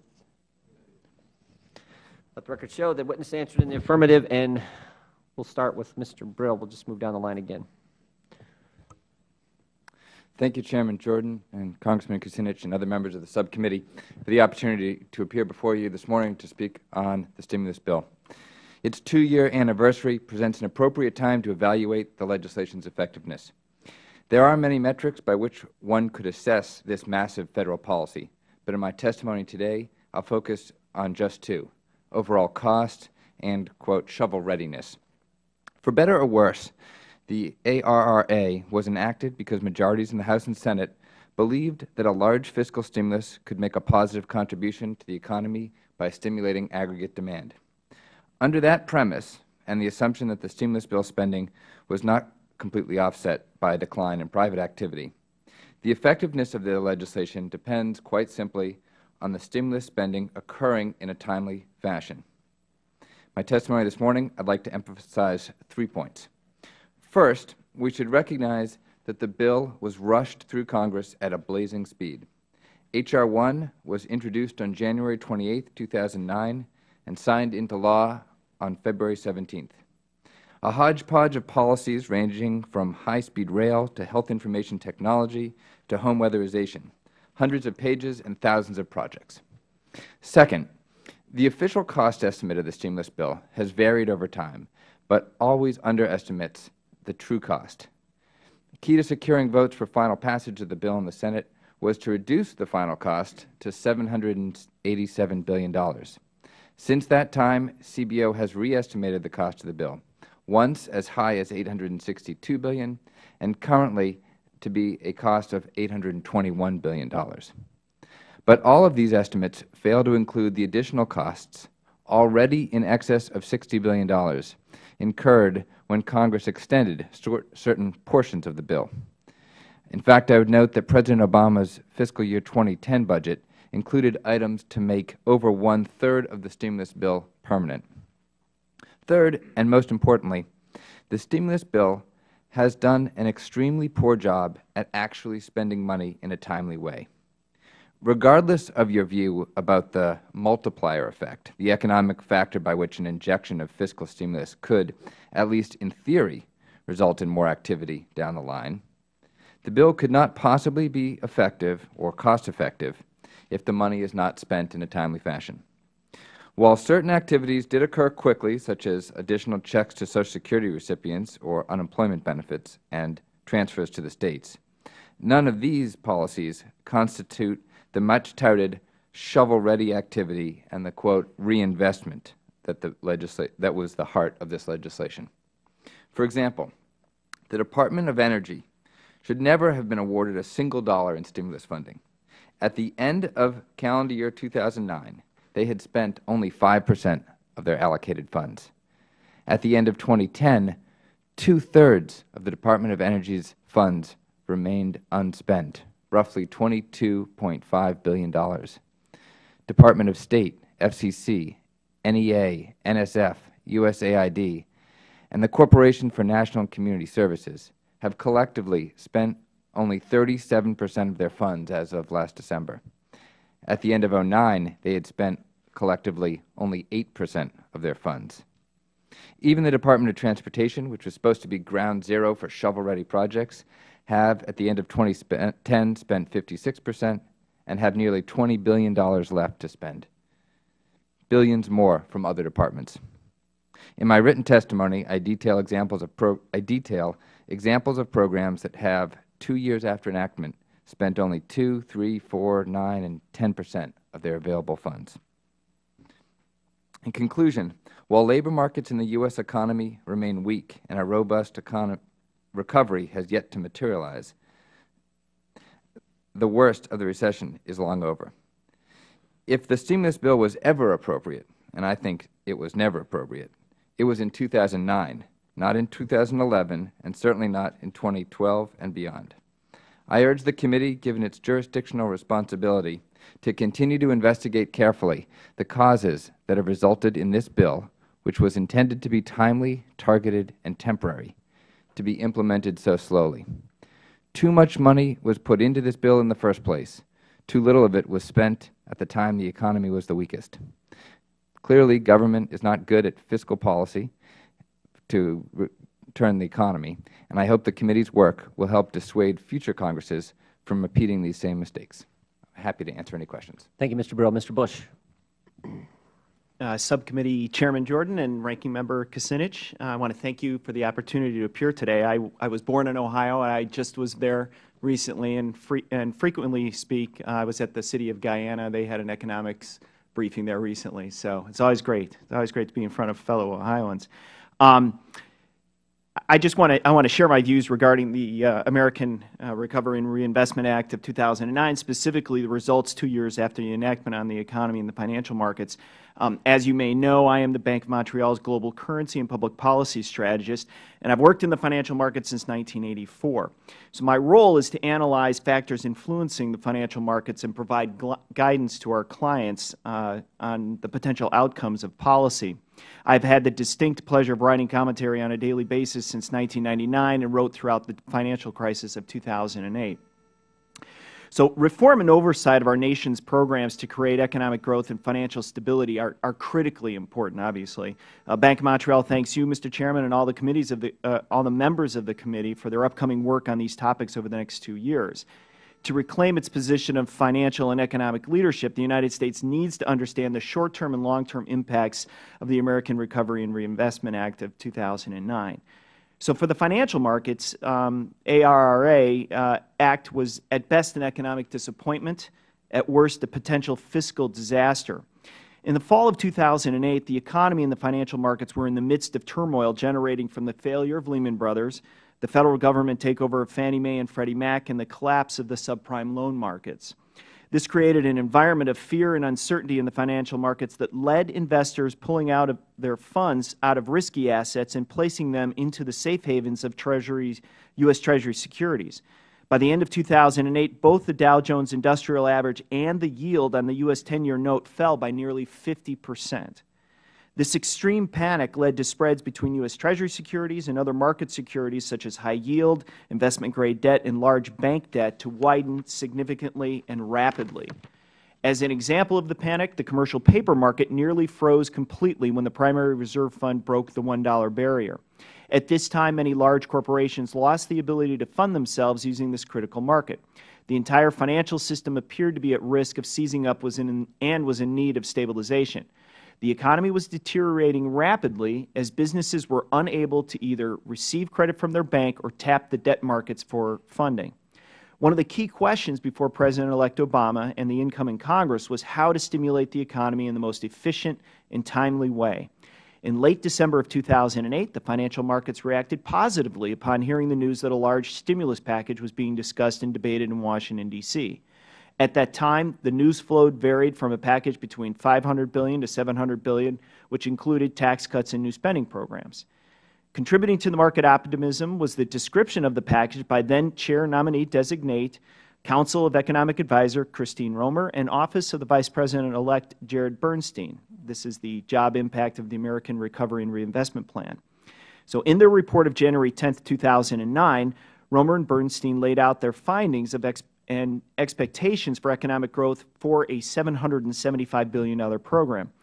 It's critical to understand that the market's expectations for economic and employment growth from the plan were raised due to these findings. They estimated that the aggregate effect of the recovery package on Q4 2010 GDP would be to increase it from 11 trillion 770 odd to 12 trillion 2.2 trillion. Um, they stated the effect of the package would increase GDP by 3.7 percent and increase jobs by nearly 3.7 million. They went on further to predict that the plan would make the unemployment rate 7 percent by Q4 2010 from the 8.8 percent that would result in the absence of the plan. The, the authors predicted a 678,000 increase in construction jobs using calculations and estimates of effects by industry by economist Mark Zandi.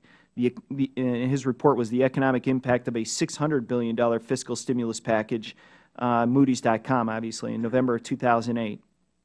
Um, since the housing sector was a key variable in the financial crisis, the return of jobs to this sector was particularly optimistic and appealing to the markets. And at that time, there were many factors influencing the financial markets. However, this outlook was a contributing factor towards the rally in the U.S. stock markets that took the Dow up almost 13 percent in December. Subsequently, the markets became skeptical of the predicted outcomes by Romer and Bernstein as newspapers, bloggers, research began to break down the sections of the plan, the costs of the plan, the and the potential increase in the fiscal deficits. Um, the, the sovereign United States credit default swap price rose from 20 in October to 59.7, a stunning 300 percent increase. So the honeymoon for the stock markets was over, and they slid until March uh, when Federal Reserve Chairman appeared on 60 Minutes and stated that no major financial institution would fail. Gentlemen, so gentlemen, I, will just submit the rest to and, and um, move on. No, I appreciate that uh, uh, testimony, Mr. Busch, and uh, we'll, we'll, you can finish up when uh, we get to questions. Mr. Edwards.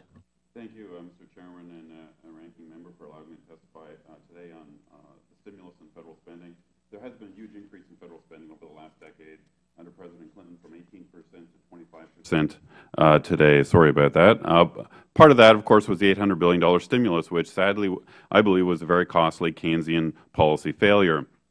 And note that the, the amount of Keynesian stimulus in the economy in recent years wasn't just the $800 billion. It was the total amount of deficit spending in recent years, half a trillion in 2008, and about one and a half trillion for the three subsequent years. So that's about five trillion dollars of of uh, so-called Keynesian stimulus, and yet we still got very high unemployment and a, a, a recovery that is more sluggish than in previous uh, uh, previous recoveries. Uh, now, economists uh, continue to debate, you know, how much of a sort of a sugar high you can get from this sort of Keynesian stimulus in the short term there is no doubt in the long term uh, that this will damage the economy. Uh, why? Because all that government spending reduces uh, private spending. And there's two basic reasons, uh, causes uh, of damage caused by the spending. One, you're transferring resources from the more productive private economy to the less productive uh, government sector of the economy. And there's all kinds of evidence for that. We've got a website at Cato, downsizinggovernment.org. We go through every department we talk about the various failures of all the, all the programs. But secondly, the transferring money from the private to the public is not costless. It causes what economists uh, call deadweight losses, the extraction, the forcible extraction of the funds from the private sector through taxation causes these deadweight losses. So, for example, President Obama let's say he wants to spend $10 billion more on high-speed rail, the cost to the economy is not $10 billion, it's 15 or 20 billion. I mean, Martin, Martin Feldstein says that there's a, uh, you know, every dollar the government spends causes $2 of private sector damage. The, the sad reality is the United States is not a small government country anymore. OECD data shows us uh, total federal, state, local spending now at 42 uh, percent of GDP. In my testimony, I show uh, that ratio over the last couple decades. The United States used to be substantially lower than other OECD countries. The gap has been closing. And I fear that we are just going to become another sort of stagnant European welfare state uh, if we keep all this uh, spending going. Let me jump quickly to uh, state and local spending because a big uh, uh, uh, you know, stated cause for the stimulus package was to help state and local governments who were struggling with the recession. We've been bombarded with news stories uh, in the last couple of years about how state budgets have been supposedly devastated and radically slashed. The reality is really different, and I've got Department of Commerce data in my testimony that shows state, total state and local spending has not been cut at all through the whole recession. It rose rapidly from 2000 to 2008. It was exactly flat 2009, started rising again 2010. Uh, total state local spending uh, was at, as a share of the economy was actually up over the last decade. So despite two recessions this last uh, uh, uh decade, state and local spending is actually higher than it's ever been. So there is a real state budget crisis, and that is ahead. As you know, there's a, the bond debt has been growing rapidly in the states. They've got huge pension and unfunded health care uh, obligations. But here's a key point, I think, from, from a federal policymaker's perspective. The states are in radically different positions with regard to their budget gaps, with regard to their bond debt, some states like Nebraska have virtually no borrowing, no bonds. Other states like Massachusetts have, have huge amount of borrowing. Uh, pension obligations, some states like Ohio, very high uh, unfunded pension obligations. Other states, it's quite low. So the states are in radically different positions here. And I think this is one of the problems with sort of federal bailouts and federal aid is that it's very unfair, and I think bad economics to punish the well-managed frugal states uh, for the benefit of the poorly run and spendthrift states. So on the one hand, I'm not for federal bailouts, but as a, as a last sort of point, you know, the, the federal government has um, continues to impose lots of costs on state governments, most recently with the, the health care plan, before that with the No Child Left Behind um, laws. All those regulations and costs are poured down onto state governments, which I think is bad economics and also unfair. And, uh, and that's the end of my comments, and thank you. Thank you, Mr. Edwards. Dr. Bivens. uh, I'd like to thank the Chairman and the members of the committee for inviting me today. I'm going to start with a, a, quick overview of the origins of what we now call the Great Recession and the rationale for the Recovery Act, and then just provide a little bit of overview of my assessment of it. Um, sometimes the origins of recessions are hard to see. Not so with what we call the Great Recession. Between 1997 and 2006, the real price of homes roughly doubled. They had been roughly stable for almost 100 years before. Because the stock of housing in the U.S. is enormous, this added greatly to the wealth of American households. And housing wealth and the debt associated with it, as well as a huge activity in the home building sector, was the foundation for, for the 2000s business cycle. Um, this was obviously unsustainable. Home prices fell by about 30 percent between 2006 and 2009. This erased about 7 to 8 trillion dollars in wealth from American households' balance sheets and consumer spending, just as predicted, predicted by a long range of economic theory and evidence, uh, collapsed. Home building collapsed. Residential investment took about 3 percentage points off GDP as home builders realized they had built too much during the 2000s. Um, these initial shocks to spending then cascaded throughout the economy. Businesses stopped investing because customers weren't coming in the door. Why would you build another factory when the factory you have is producing output that's not selling? Um, and so essentially, the economy suffered a shock to aggregate demand. I mean, to deny this, to say that that was not the essential problem, I mean, you have to answer the question then, why did almost 9 million people lose their jobs in a two-year period? American workers didn't wake up January 2008 with no skills.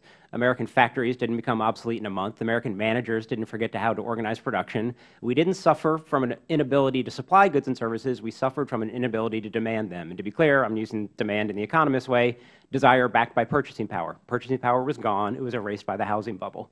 And so by most measures, the shock to private sector spending caused by the bursting housing bubble was bigger than the one that led to the Great Depression. We didn't have a Great Depression mostly because we now have a central bank that leans much more aggressively against private sector spending shocks, and we allow budget deficits to rise to finance public spending to stem the gap caused by retreating private spending when you enter recessions. It was a big reason why we did not see the economy spiral into a depression. Um, ARRA was part of that pushing back against the shock to private sector spending. And in my judgment, it worked largely as advertised. We have a gross domestic product is probably about $500 billion higher today than it would have been if we had not passed it. We probably have about 5 million full-time equivalent jobs that we would not have had had ARRA not passed. And this, this judgment is based on three considerations. I mean, first, virtually all private sector forecasting firms, people whose money depends on being more correct about short-term economic trends, say that ARRA added a lot to output and employment.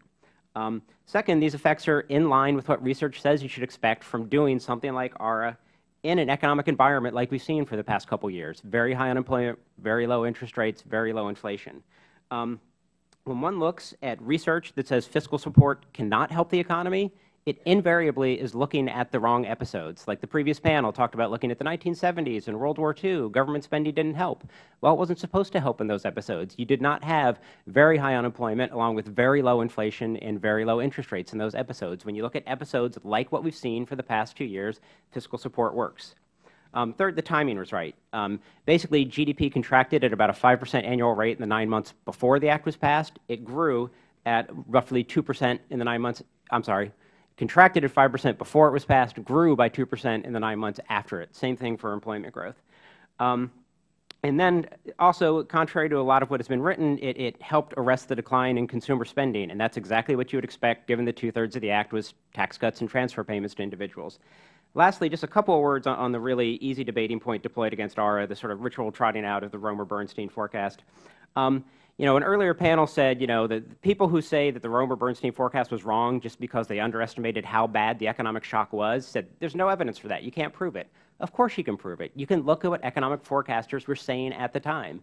And I actually had a, a figure. I'm not sure if we're, we're, able to blow it out or blow it up or not. It's in my testimony. It shows the consensus blue chip forecast for what was going to happen in that sort of six-month period in late 2008 early 2009, the blue chip consensus was GDP would contract by 1.5 percent. It actually contracted by closer to 5 percent.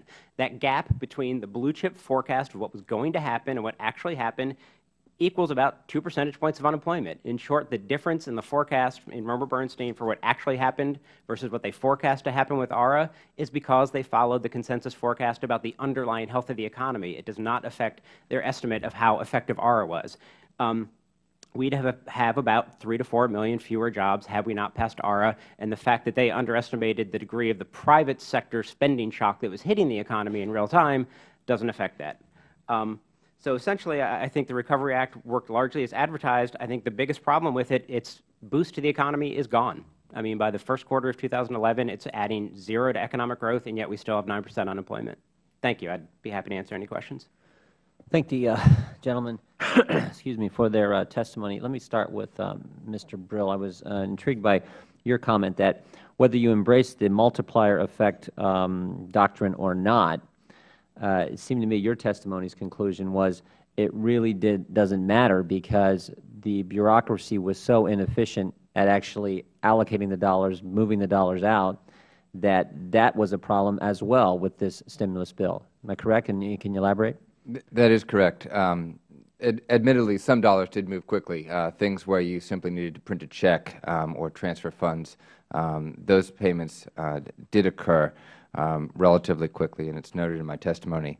However, the uh, an enormous percentage of the dollars. And when we think about enacting legislation and the cost effectiveness of that bill, um, that legislation, an enormous amount of the money uh, was delayed. It was delayed because, quite simply, uh, the government, um, while it's good at spending money, uh, turns out not to be very good at um, spending it very quickly. Uh, so there are uh, numerous departments that have engaged in large, complex projects uh, that require permitting, consideration, um, architectural designs and other things, and to get those dollars spent, um, it will take years. Um, and some of that was understood at the beginning. That doesn't make it okay. Um, of course, CBO did note that, uh, that this bill will have uh, budgetary effects throughout the decade.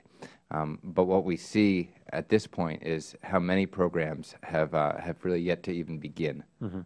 Right. Well, and, and, it, and frankly, there's a there's a continuation of them in the budget proposal that we got Monday from the President. I mean, I, I think one example that jumps in my mind, this, this so-called high-speed rail, which I think is just not effective, not where we need to go. Um, but there's a continuation of this in, in, in, the current budget.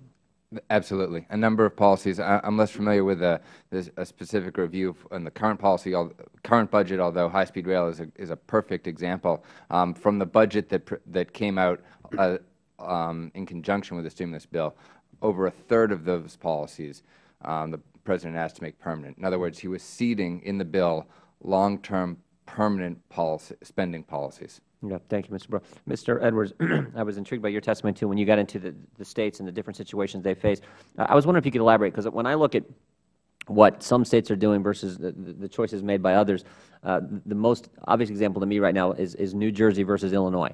New Jersey, where the governor came in and said, we're not going to raise taxes, we're going to reduce spending, and we're going to, we're going to try to create a climate which I would argue is conducive to economic growth, versus what they're doing in Illinois, which is raising taxes significantly. Um, can you elaborate on, on, on the, the, kind of the choices being made there and, the, and those, those two models or those two, um, the, those two decisions by governors and the legislatures in those states? Right. I mean, uh, you know, we, we do have a federal system. The states, you know, should be allowed to go in their own direction. Right. That's great. And that's one reason why I, I don't like the federal intervention downwards, either spending or regulations, because I think it stifles uh, good diversity in the states. We want the states to try different things with their education systems and investment in all kinds of uh, uh, stuff, so that hopefully, you know, the the uh, if, if New Jersey's moving ahead with uh, public sector union reforms, that's great. It can it can provide a good model for other states. Uh, so I like that diversity. Uh, but it is also true that the federal government imposes a lot of these costs, like with the with, with the health care law and the No Child Left Behind law, that I think are really really damaging. Yeah, Mr. Um, um, Bivens, I want to give you a chance to participate here as, uh, as well. Um, so if I understood your testimony, it's, it's basically it would have been worse had we not done what was, uh, what was done in 2009. And, and, you know, obviously I disagree. I think much of the panel disagrees. Um, and I would argue just based on the stated goals of the authors of the policy, um, who again failed to be with us this morning, we didn't meet the goals they said. And, you, I, I understand your, your comments near the your testimony, well, they were using faulty data or data that wasn't up to speed at the time they made the decision. But the idea that we're going to spend $800 billion of taxpayer money and the promise was to keep unemployment at a certain rate and be even lower today, um, I still am struck by the, I, I, guess I still reach the same conclusion that I think, frankly, most Americans have reached, which is the only thing we got from, this, from the stimulus was three years of record deficits and the highest, you know, highest level of national debt we've ever experienced. Well, I'd say what, what the real promise of the Romer Bernstein report was that we would have three to four million more jobs than the economy would have produced had we not done it. Um, and, and that one, I, I think their judgment is right, and that's supported by, say, the CBO and, and other forecasters. And, and, just one, one other point, too. I mean, but just between December 2008, when they wrote that report, and March 2009, the month after R was passed, the economy lost 3 million jobs in those three months. I mean, that's essentially that two percentage point unemployment gap between what they predicted and what happened you know, right there the fact that they did not realize that they were sitting on sort of an exploding private sector economy around them, you know, I, I think it doesn't speak greatly of their economic forecasting ability, but nobody got that in real term. Yeah. But that does not change the effectiveness of the policy or their, their evaluation of it. Yeah, well, and that's my point. I mean, they were pretty darn specific in the number of jobs that would be uh, where, uh, well, excuse me, I'll say it this way, where employment would be. They were specific down to 137.6 million people. They, they, they, they were so at least you would be critical of the fact that they made these specific projections. At a minimum, you'd be critical of that. That's right. I'd be more critical that they didn't that, that, they took the blue chip consensus as a given and as a good forecast when it clearly wasn't. Okay. I don't think they were trying to break any new ground in forecasting. I think they were just trying to take off the shelf, you know, these are reasonable things people will not argue with this forecast and the thing they grabbed that people would not argue with turned out to be very wrong because, you know, frankly, most of the profession was caught very yeah. flat-footed by how bad the recession was. Let, let, let me just Can I make a comment on that? Yeah, quickly? and if I give you one quick question, Mr. Mr. Bivens. Um, Mr. Bivens, as, a, as, an economist who is who supports the stimulus, um, if you were involved in putting this together, uh, don't you think? I mean, would you be? Uh, wouldn't you want to be, come in front of a panel on Congress looking at your work product and defend it? Sure. I mean, yes. Obviously, the stakes for me are a lot lower, so I don't know how, how, how it would have turned out if I had been an architect of it. But yes, I, I, think there's ample reason to defend the, the stimulus package on its merits, and yeah. I think it should be done. Okay. Mr. Edwards, then I'll move to Mr. Kucinich. Mr. Uh, uh, John Taylor had a very good paragraph in his written testimony where he basically said, you know, the problem with a lot of these macro models is that they assume the results that, you know, the, the, the results are assumed, they're programmed in.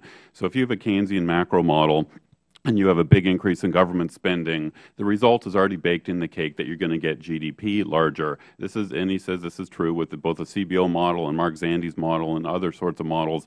I agree with Russ Roberts that we should be very suspicious of all these macro models. Frankly, they are wrong time and time again. Yeah. And, and, the, and the model to look at, frankly, is what happened. Right. I mean, that's the, the best evidence is, is what actually took place, is look at the facts. Yeah. Thank you. Absolutely. We'll go down to five minutes for uh, the Ranking Member, Mr. Kucinich. Uh, just building on what uh, Mr. Edwards said about the macro models, Mr. Chairman, the, um, the Romer-Bernstein report was released a month before the Recovery Act was signed into law. And what's interesting is that they had a qualification in this report. I want, you to, I want to quote it to you. Quote, it should be understood that all of the estimates presented in this memo are subject to significant margins of error. The uncertainty is surely higher than normal now because the current recession is unusual both in its fundamental causes and its severity. So they qualified what, what they were saying. I think it's important that we, that, that we know that since you know, we're focusing on, on that report. I, I also want to say, in uh, relationship to what Mr. Brill said uh, about high-speed rail, I think it would be important for this committee to, um, to look into the relationship between, the, uh, between commerce and, uh, and transportation's role in increasing the efficiency of commerce, or, or not. I, I, think it's very important that we get into that so, so we don't just reject out of hand certain um, approaches that could actually end up helping the economy. And I, I think high-speed rail is one of those uh, discussions we ought to have. Now, Dr. Bivens, in your written testimony, uh, I, I, have to get this question to Dr. Bivens, but thank you. Uh, Dr. Bivens, in your written testimony, you state that private sector macroeconomic forecasters are in near universal agreement, unquote, about the positive impacts the uh, ARRA has had on uh, gross domestic product growth and unemployment. We know that the nonpartisan Congressional Budget Office agrees. We know that private economists like uh, uh Mark Zandi agree. Uh, we know that organizations like the Center on Budget and Policy Priorities, as well as your organization, uh, the EPI, agrees. Can you explain why so many forecasters agree about the positive results of the stimulus? Yeah, uh, like I said quickly in my, my testimony, I mean, it's in line with a long line of research that looks at the efficacy of fiscal support provided to economies that look like the U.S. economy today, characterized by very high unemployment, very low rates of inflation, very low interest rates. When you provide fiscal support in an uh, environment like that, the research shows that it works very well. Um, and I'll say one thing, this, this, idea that the results are baked into all these models, that, that's actually not true. These multipliers are not taken from the air. These multipliers are come out of the data one, people look at the effect of fiscal support done in environments like we have today. They look at the historical record. They say, when you provided this fiscal support when unemployment was high and inflation and interest rates were low, what happened? And you use those multipliers estimated from real data. They are not plucked from the air. Well, uh, you've characterized the Recovery Act as small relative to the economic shock it was meant to absorb. Uh, if the stimulus was larger, do you think the unemployment rate would be lower than it uh, is than it actually is today? Absolutely. And what step does Congress need to take, in your opinion, to get more Americans back to work? Um, I, I, think it needs to look at those parts of the, the Recovery Act that worked very well and, and continue or expand them. And so For example? Unemployment insurance, the fact that that's been extended for another 13 months as part of the tax cut deal, that's a very good thing. It's going to support a lot of jobs. Um, I would look at some of the other safety net programs. Food stamps are very good economic stimulus, let alone. What, what, explain why that is. Um, essentially, the, the goal of economic stimulus is to get money spending quickly throughout the economy. And people who get food stamps and people who receive unemployment insurance are, by definition, people who are cash strapped. They're not going to sock it away in savings. They need to spend it on, you know, necessities in the here and now. And so the money circulates through the economy very quickly. Um, I would also say I think the infrastructure spending, which has taken a, a bit longer to get online, but that's actually a good thing. I mean, we have 9 percent unemployment today. The idea that we have missed the boat on infrastructure spending, helping the economy if a project rolls out next month, we haven't missed the boat. We're going to have very high unemployment for a very long time. I mean, the CBO says we don't get back to pre-recession unemployment until 2016. So the idea that some of these projects are still coming online, I think, is a very good thing. Well, uh, and, and, in line with that, I mean, where Mr. Brill uh, talked about how, you know, it takes a while for government spending to actually get into the, into the system, would you say that if the government were to plan uh, a massive rebuilding of America's infrastructure, beginning, let's say, this year, with the, with the aim at putting Americans back to work, would, would you think that that uh, kind of an approach, which would parallel what happened during the uh, uh, New Deal with the WPA, that that kind of an approach would benefit the economy, would stimulate the economy, would prime the pump of the economy and able to get people back to work? Yes, I think it would be very good in the short term, and then I think it would add to productivity growth even in the long term and make us grow faster even when the recession is over. Thank you, Mr. Chairman. I, you know, I think, I, think, I think one of the things that we can do with, uh, in our collaboration on this subcommittee is to, uh, is to bring people together to find out how we can create jobs and get America back to work. And, and I, I look forward to working with you in that. I thank the witnesses. Thank you. Thank the gentleman. Would now yield to the gentlelady from New York, Ms. Buerkle. Thank you, Mr. Chairman. Thank you all for being here this morning. Um, a couple of questions uh, sort of out of context. First of all, Mr. Brill, you talked about um, the, the, the, slowness at which the money was spent. And I wondered if you had any ideas as to why it, it, it happened that way. And then beyond that, and this is to anyone on the panel, is there a way to know how much stimulus money remains unspent at this time? Uh, thank you. Um, I think that there are a number of reasons that large amounts of the money remain unspent. Um, just as a point of reference, um, the CBO estimated uh, last month that in the current fiscal year, fiscal year 2011, um, there will be $148 billion in stimulus funding, and over the remaining years of the budget window, there will be another $148 billion in fiscal stimulus spending. Um, the reasons for the delays, I think, are numerous. Uh, depends uh, likely agency by agency or department by department. Um, many of these programs um, are, are, are, large, complex building projects um, where simply um, to get the project uh, designed and approved, put online, um, uh, permitting the requirements that were necessary, environmental assessments that were necessary in order for certain construction projects to begin. Um, uh, takes a lot of time. Um, there are some projects that are in the midst of being completed, um, in essence, uh, bridges half built, and there are certainly billions of dollars of other projects that have not yet even begun. And so your estimate for the amount right now that's unspent of the stimulus money? Um, beyond the current fiscal year is 148 billion, and uh, to be spent in this current year um, an additional 148 billion. So some of that 148 is we're midway into the fiscal year. So I'd, I'd ballpark it at about $200 billion in unspent dollars. Thank you. Does anyone else have a comment regarding any estimate unspent stimulus monies? Uh, Dr. Bivens, my question to you, um, we've heard several times throughout the course of the morning that perhaps the stimulus uh, the amount of the stimulus wasn't enough, and that was the reason why we did not see the robust e economic recovery that we had hoped for. And I'm, my question to you is, if, if the intention was to keep unemployment, say, at 6 or 7 percent, what would that amount, what should the amount of the stimulus been? What, what could we have spent uh, to, to achieve that, that rate of unemployment? To achieve that rate of unemployment, um, it may have been impossible to ever keep unemployment going above 7 percent, given the quickness and the severity of the, the shock from the housing bubble. That said, I think the economy could have easily absorbed a stimulus package almost twice as big, say $1.5 trillion, without running into the remotest risk of, say, overheating the economy or providing too much support or doing anything like sparking higher inflation or high interest rates, which is supposed to be the downsides of doing too much fiscal support. We could have had a stimulus package twice as big and not even flirted with any of those troubles. Can I make a comment on that? I mean, one of the problems I, I see with this, this sort of the Keynesian stimulus approach is that, um, you know, economists like, you know, Mark Zandi and others, they say, oh, you know, I supported this big stimulus and it's got the, you know, it's got the government uh, much deeper into debt, which is going to create this giant uh, burden in the future on uh, young people. At the same time, people like Mr. Zandi are saying, oh, we need a, uh, you know, we need a plan to reduce, uh, you know, spending and get these deficits under control. We need a credible plan to reduce these deficits.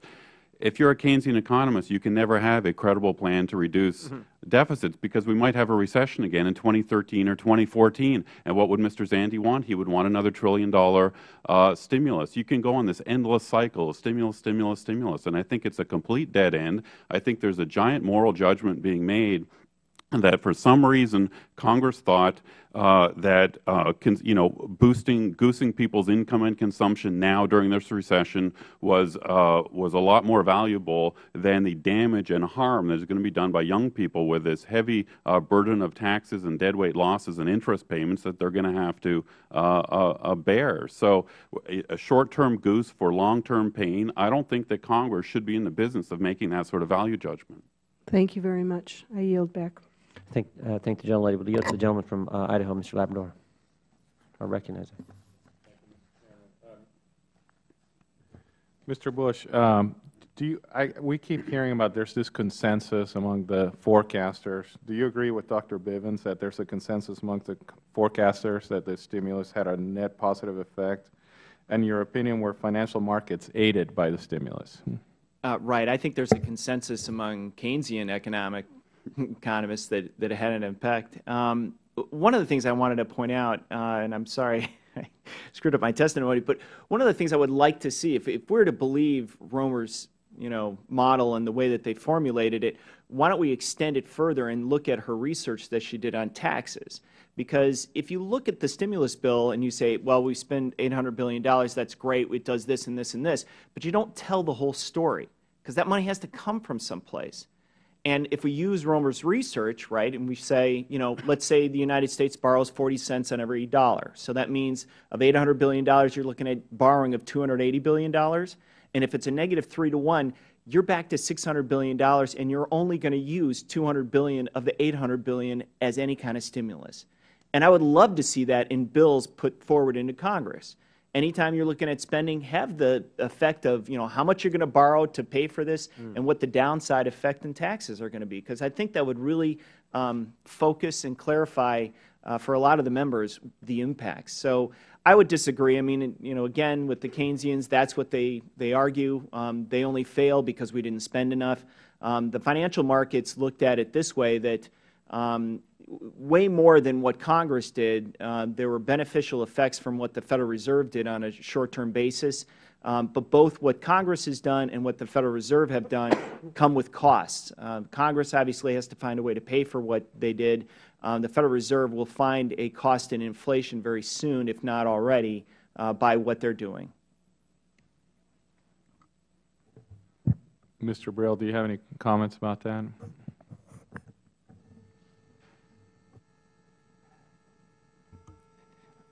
Um, I would I would just add the fact that um, it, that the argument that put forth um, in the the but for case um, is, is is a tricky one, um, and it's a, it's actually a tricky one on on both sides. Um, I, I, I think that we shouldn't over we shouldn't have too high expectations for economists to be good fortune tellers, especially at turning points in the economy. Um, but the lesson from that, uh, I think, is that Congress needs to be wary.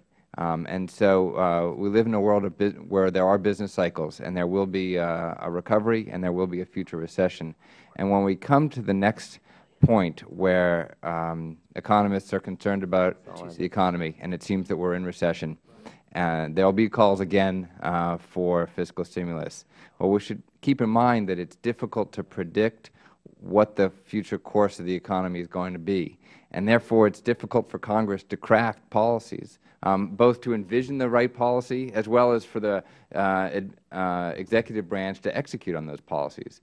And that, um, as was discussed in the previous panel, um, stable fiscal policy, policies that have uh, low tax rates, low marginal tax rates, um, and um, stable, low spending rates, not policies that, that have huge ballooning deficits like the ones we face, are the ones that are likely to minimize the business cycle risks that we face.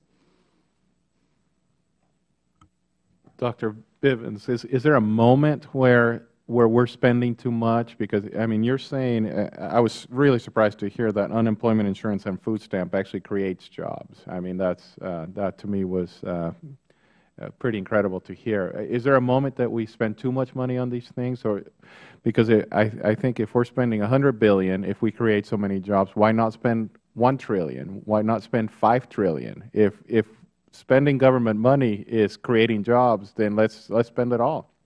That's pretty easy. I mean, you, you reach the limit when you run the risk of overheating the economy by sparking inflation or high interest rates. I mean, that is the textbook case for macroeconomics. You provide fiscal support until you run the risk of overheating the economy in that way. And we're in no danger of doing that. Core rates of inflation are at 60-year lows. Interest rates are at 60-year lows. I mean, we're just running into none of the danger signs of having done anything like too much. And so 5 trillion, yes, I think that'd be too much. I think in terms of the, the current political debate, we are in absolutely zero danger of doing too much and overheating the economy through too much fiscal support. Could I just make one quick comment Sure. on that? Greece felt the same way at some point. Yeah. And I think that's really the, the issue, is at some point, the financial markets aren't going to allow the United States to borrow indefinitely at the rates that they are. So if you try to expand, and again, expand budget deficits, at some point, they're going to turn on you. And again, the United States is borrowing at exceptionally low interest rates, and that could change, as we've seen since November, when interest rates have gone up 100 basis points. Well, and, and if you, if you, you know, you question the Federal Reserve Chairman, he will, he would indicate that they can pull back at the appropriate time. Um, I think that's, that's a big if. Um, but that's the argument you hear, and I, I would assume Dr. Bivens would, would say that, you know, but again, I think that's, that's scary when you're looking at a handful of people who think they can out, outguess and outperform and guess and, and have the right timing and beat the market and figure out ahead of, I, I just think that's a, a scary place to go. And so, um, I, I did want, one last thing if I could. Um, Mr. Brill, you gave a 200 and some billion dollar figure. That the, the facts that we're getting or the numbers we're getting on, on stimulus dollars that have not been spent are much less than that. I mean, we're, we're hearing 92 percent of the stimulus dollars are out the door. So is that number, some, I I assume some of those monies are already obligated dollars but haven't been out the door, but they're already in contract or what? Tell me where you're getting that number, if you would, real quickly. Yeah, sure, exactly. The the difference being the um, allocated funds versus uh, dollars spent. Okay. Um, so the government has successfully decided what to do with most of the money uh, two years after enactment, But um, hasn't written the check. But hasn't actually written the check. Okay. I want to thank the, uh, the, the witnesses uh, for your insight and appreciate you spending some time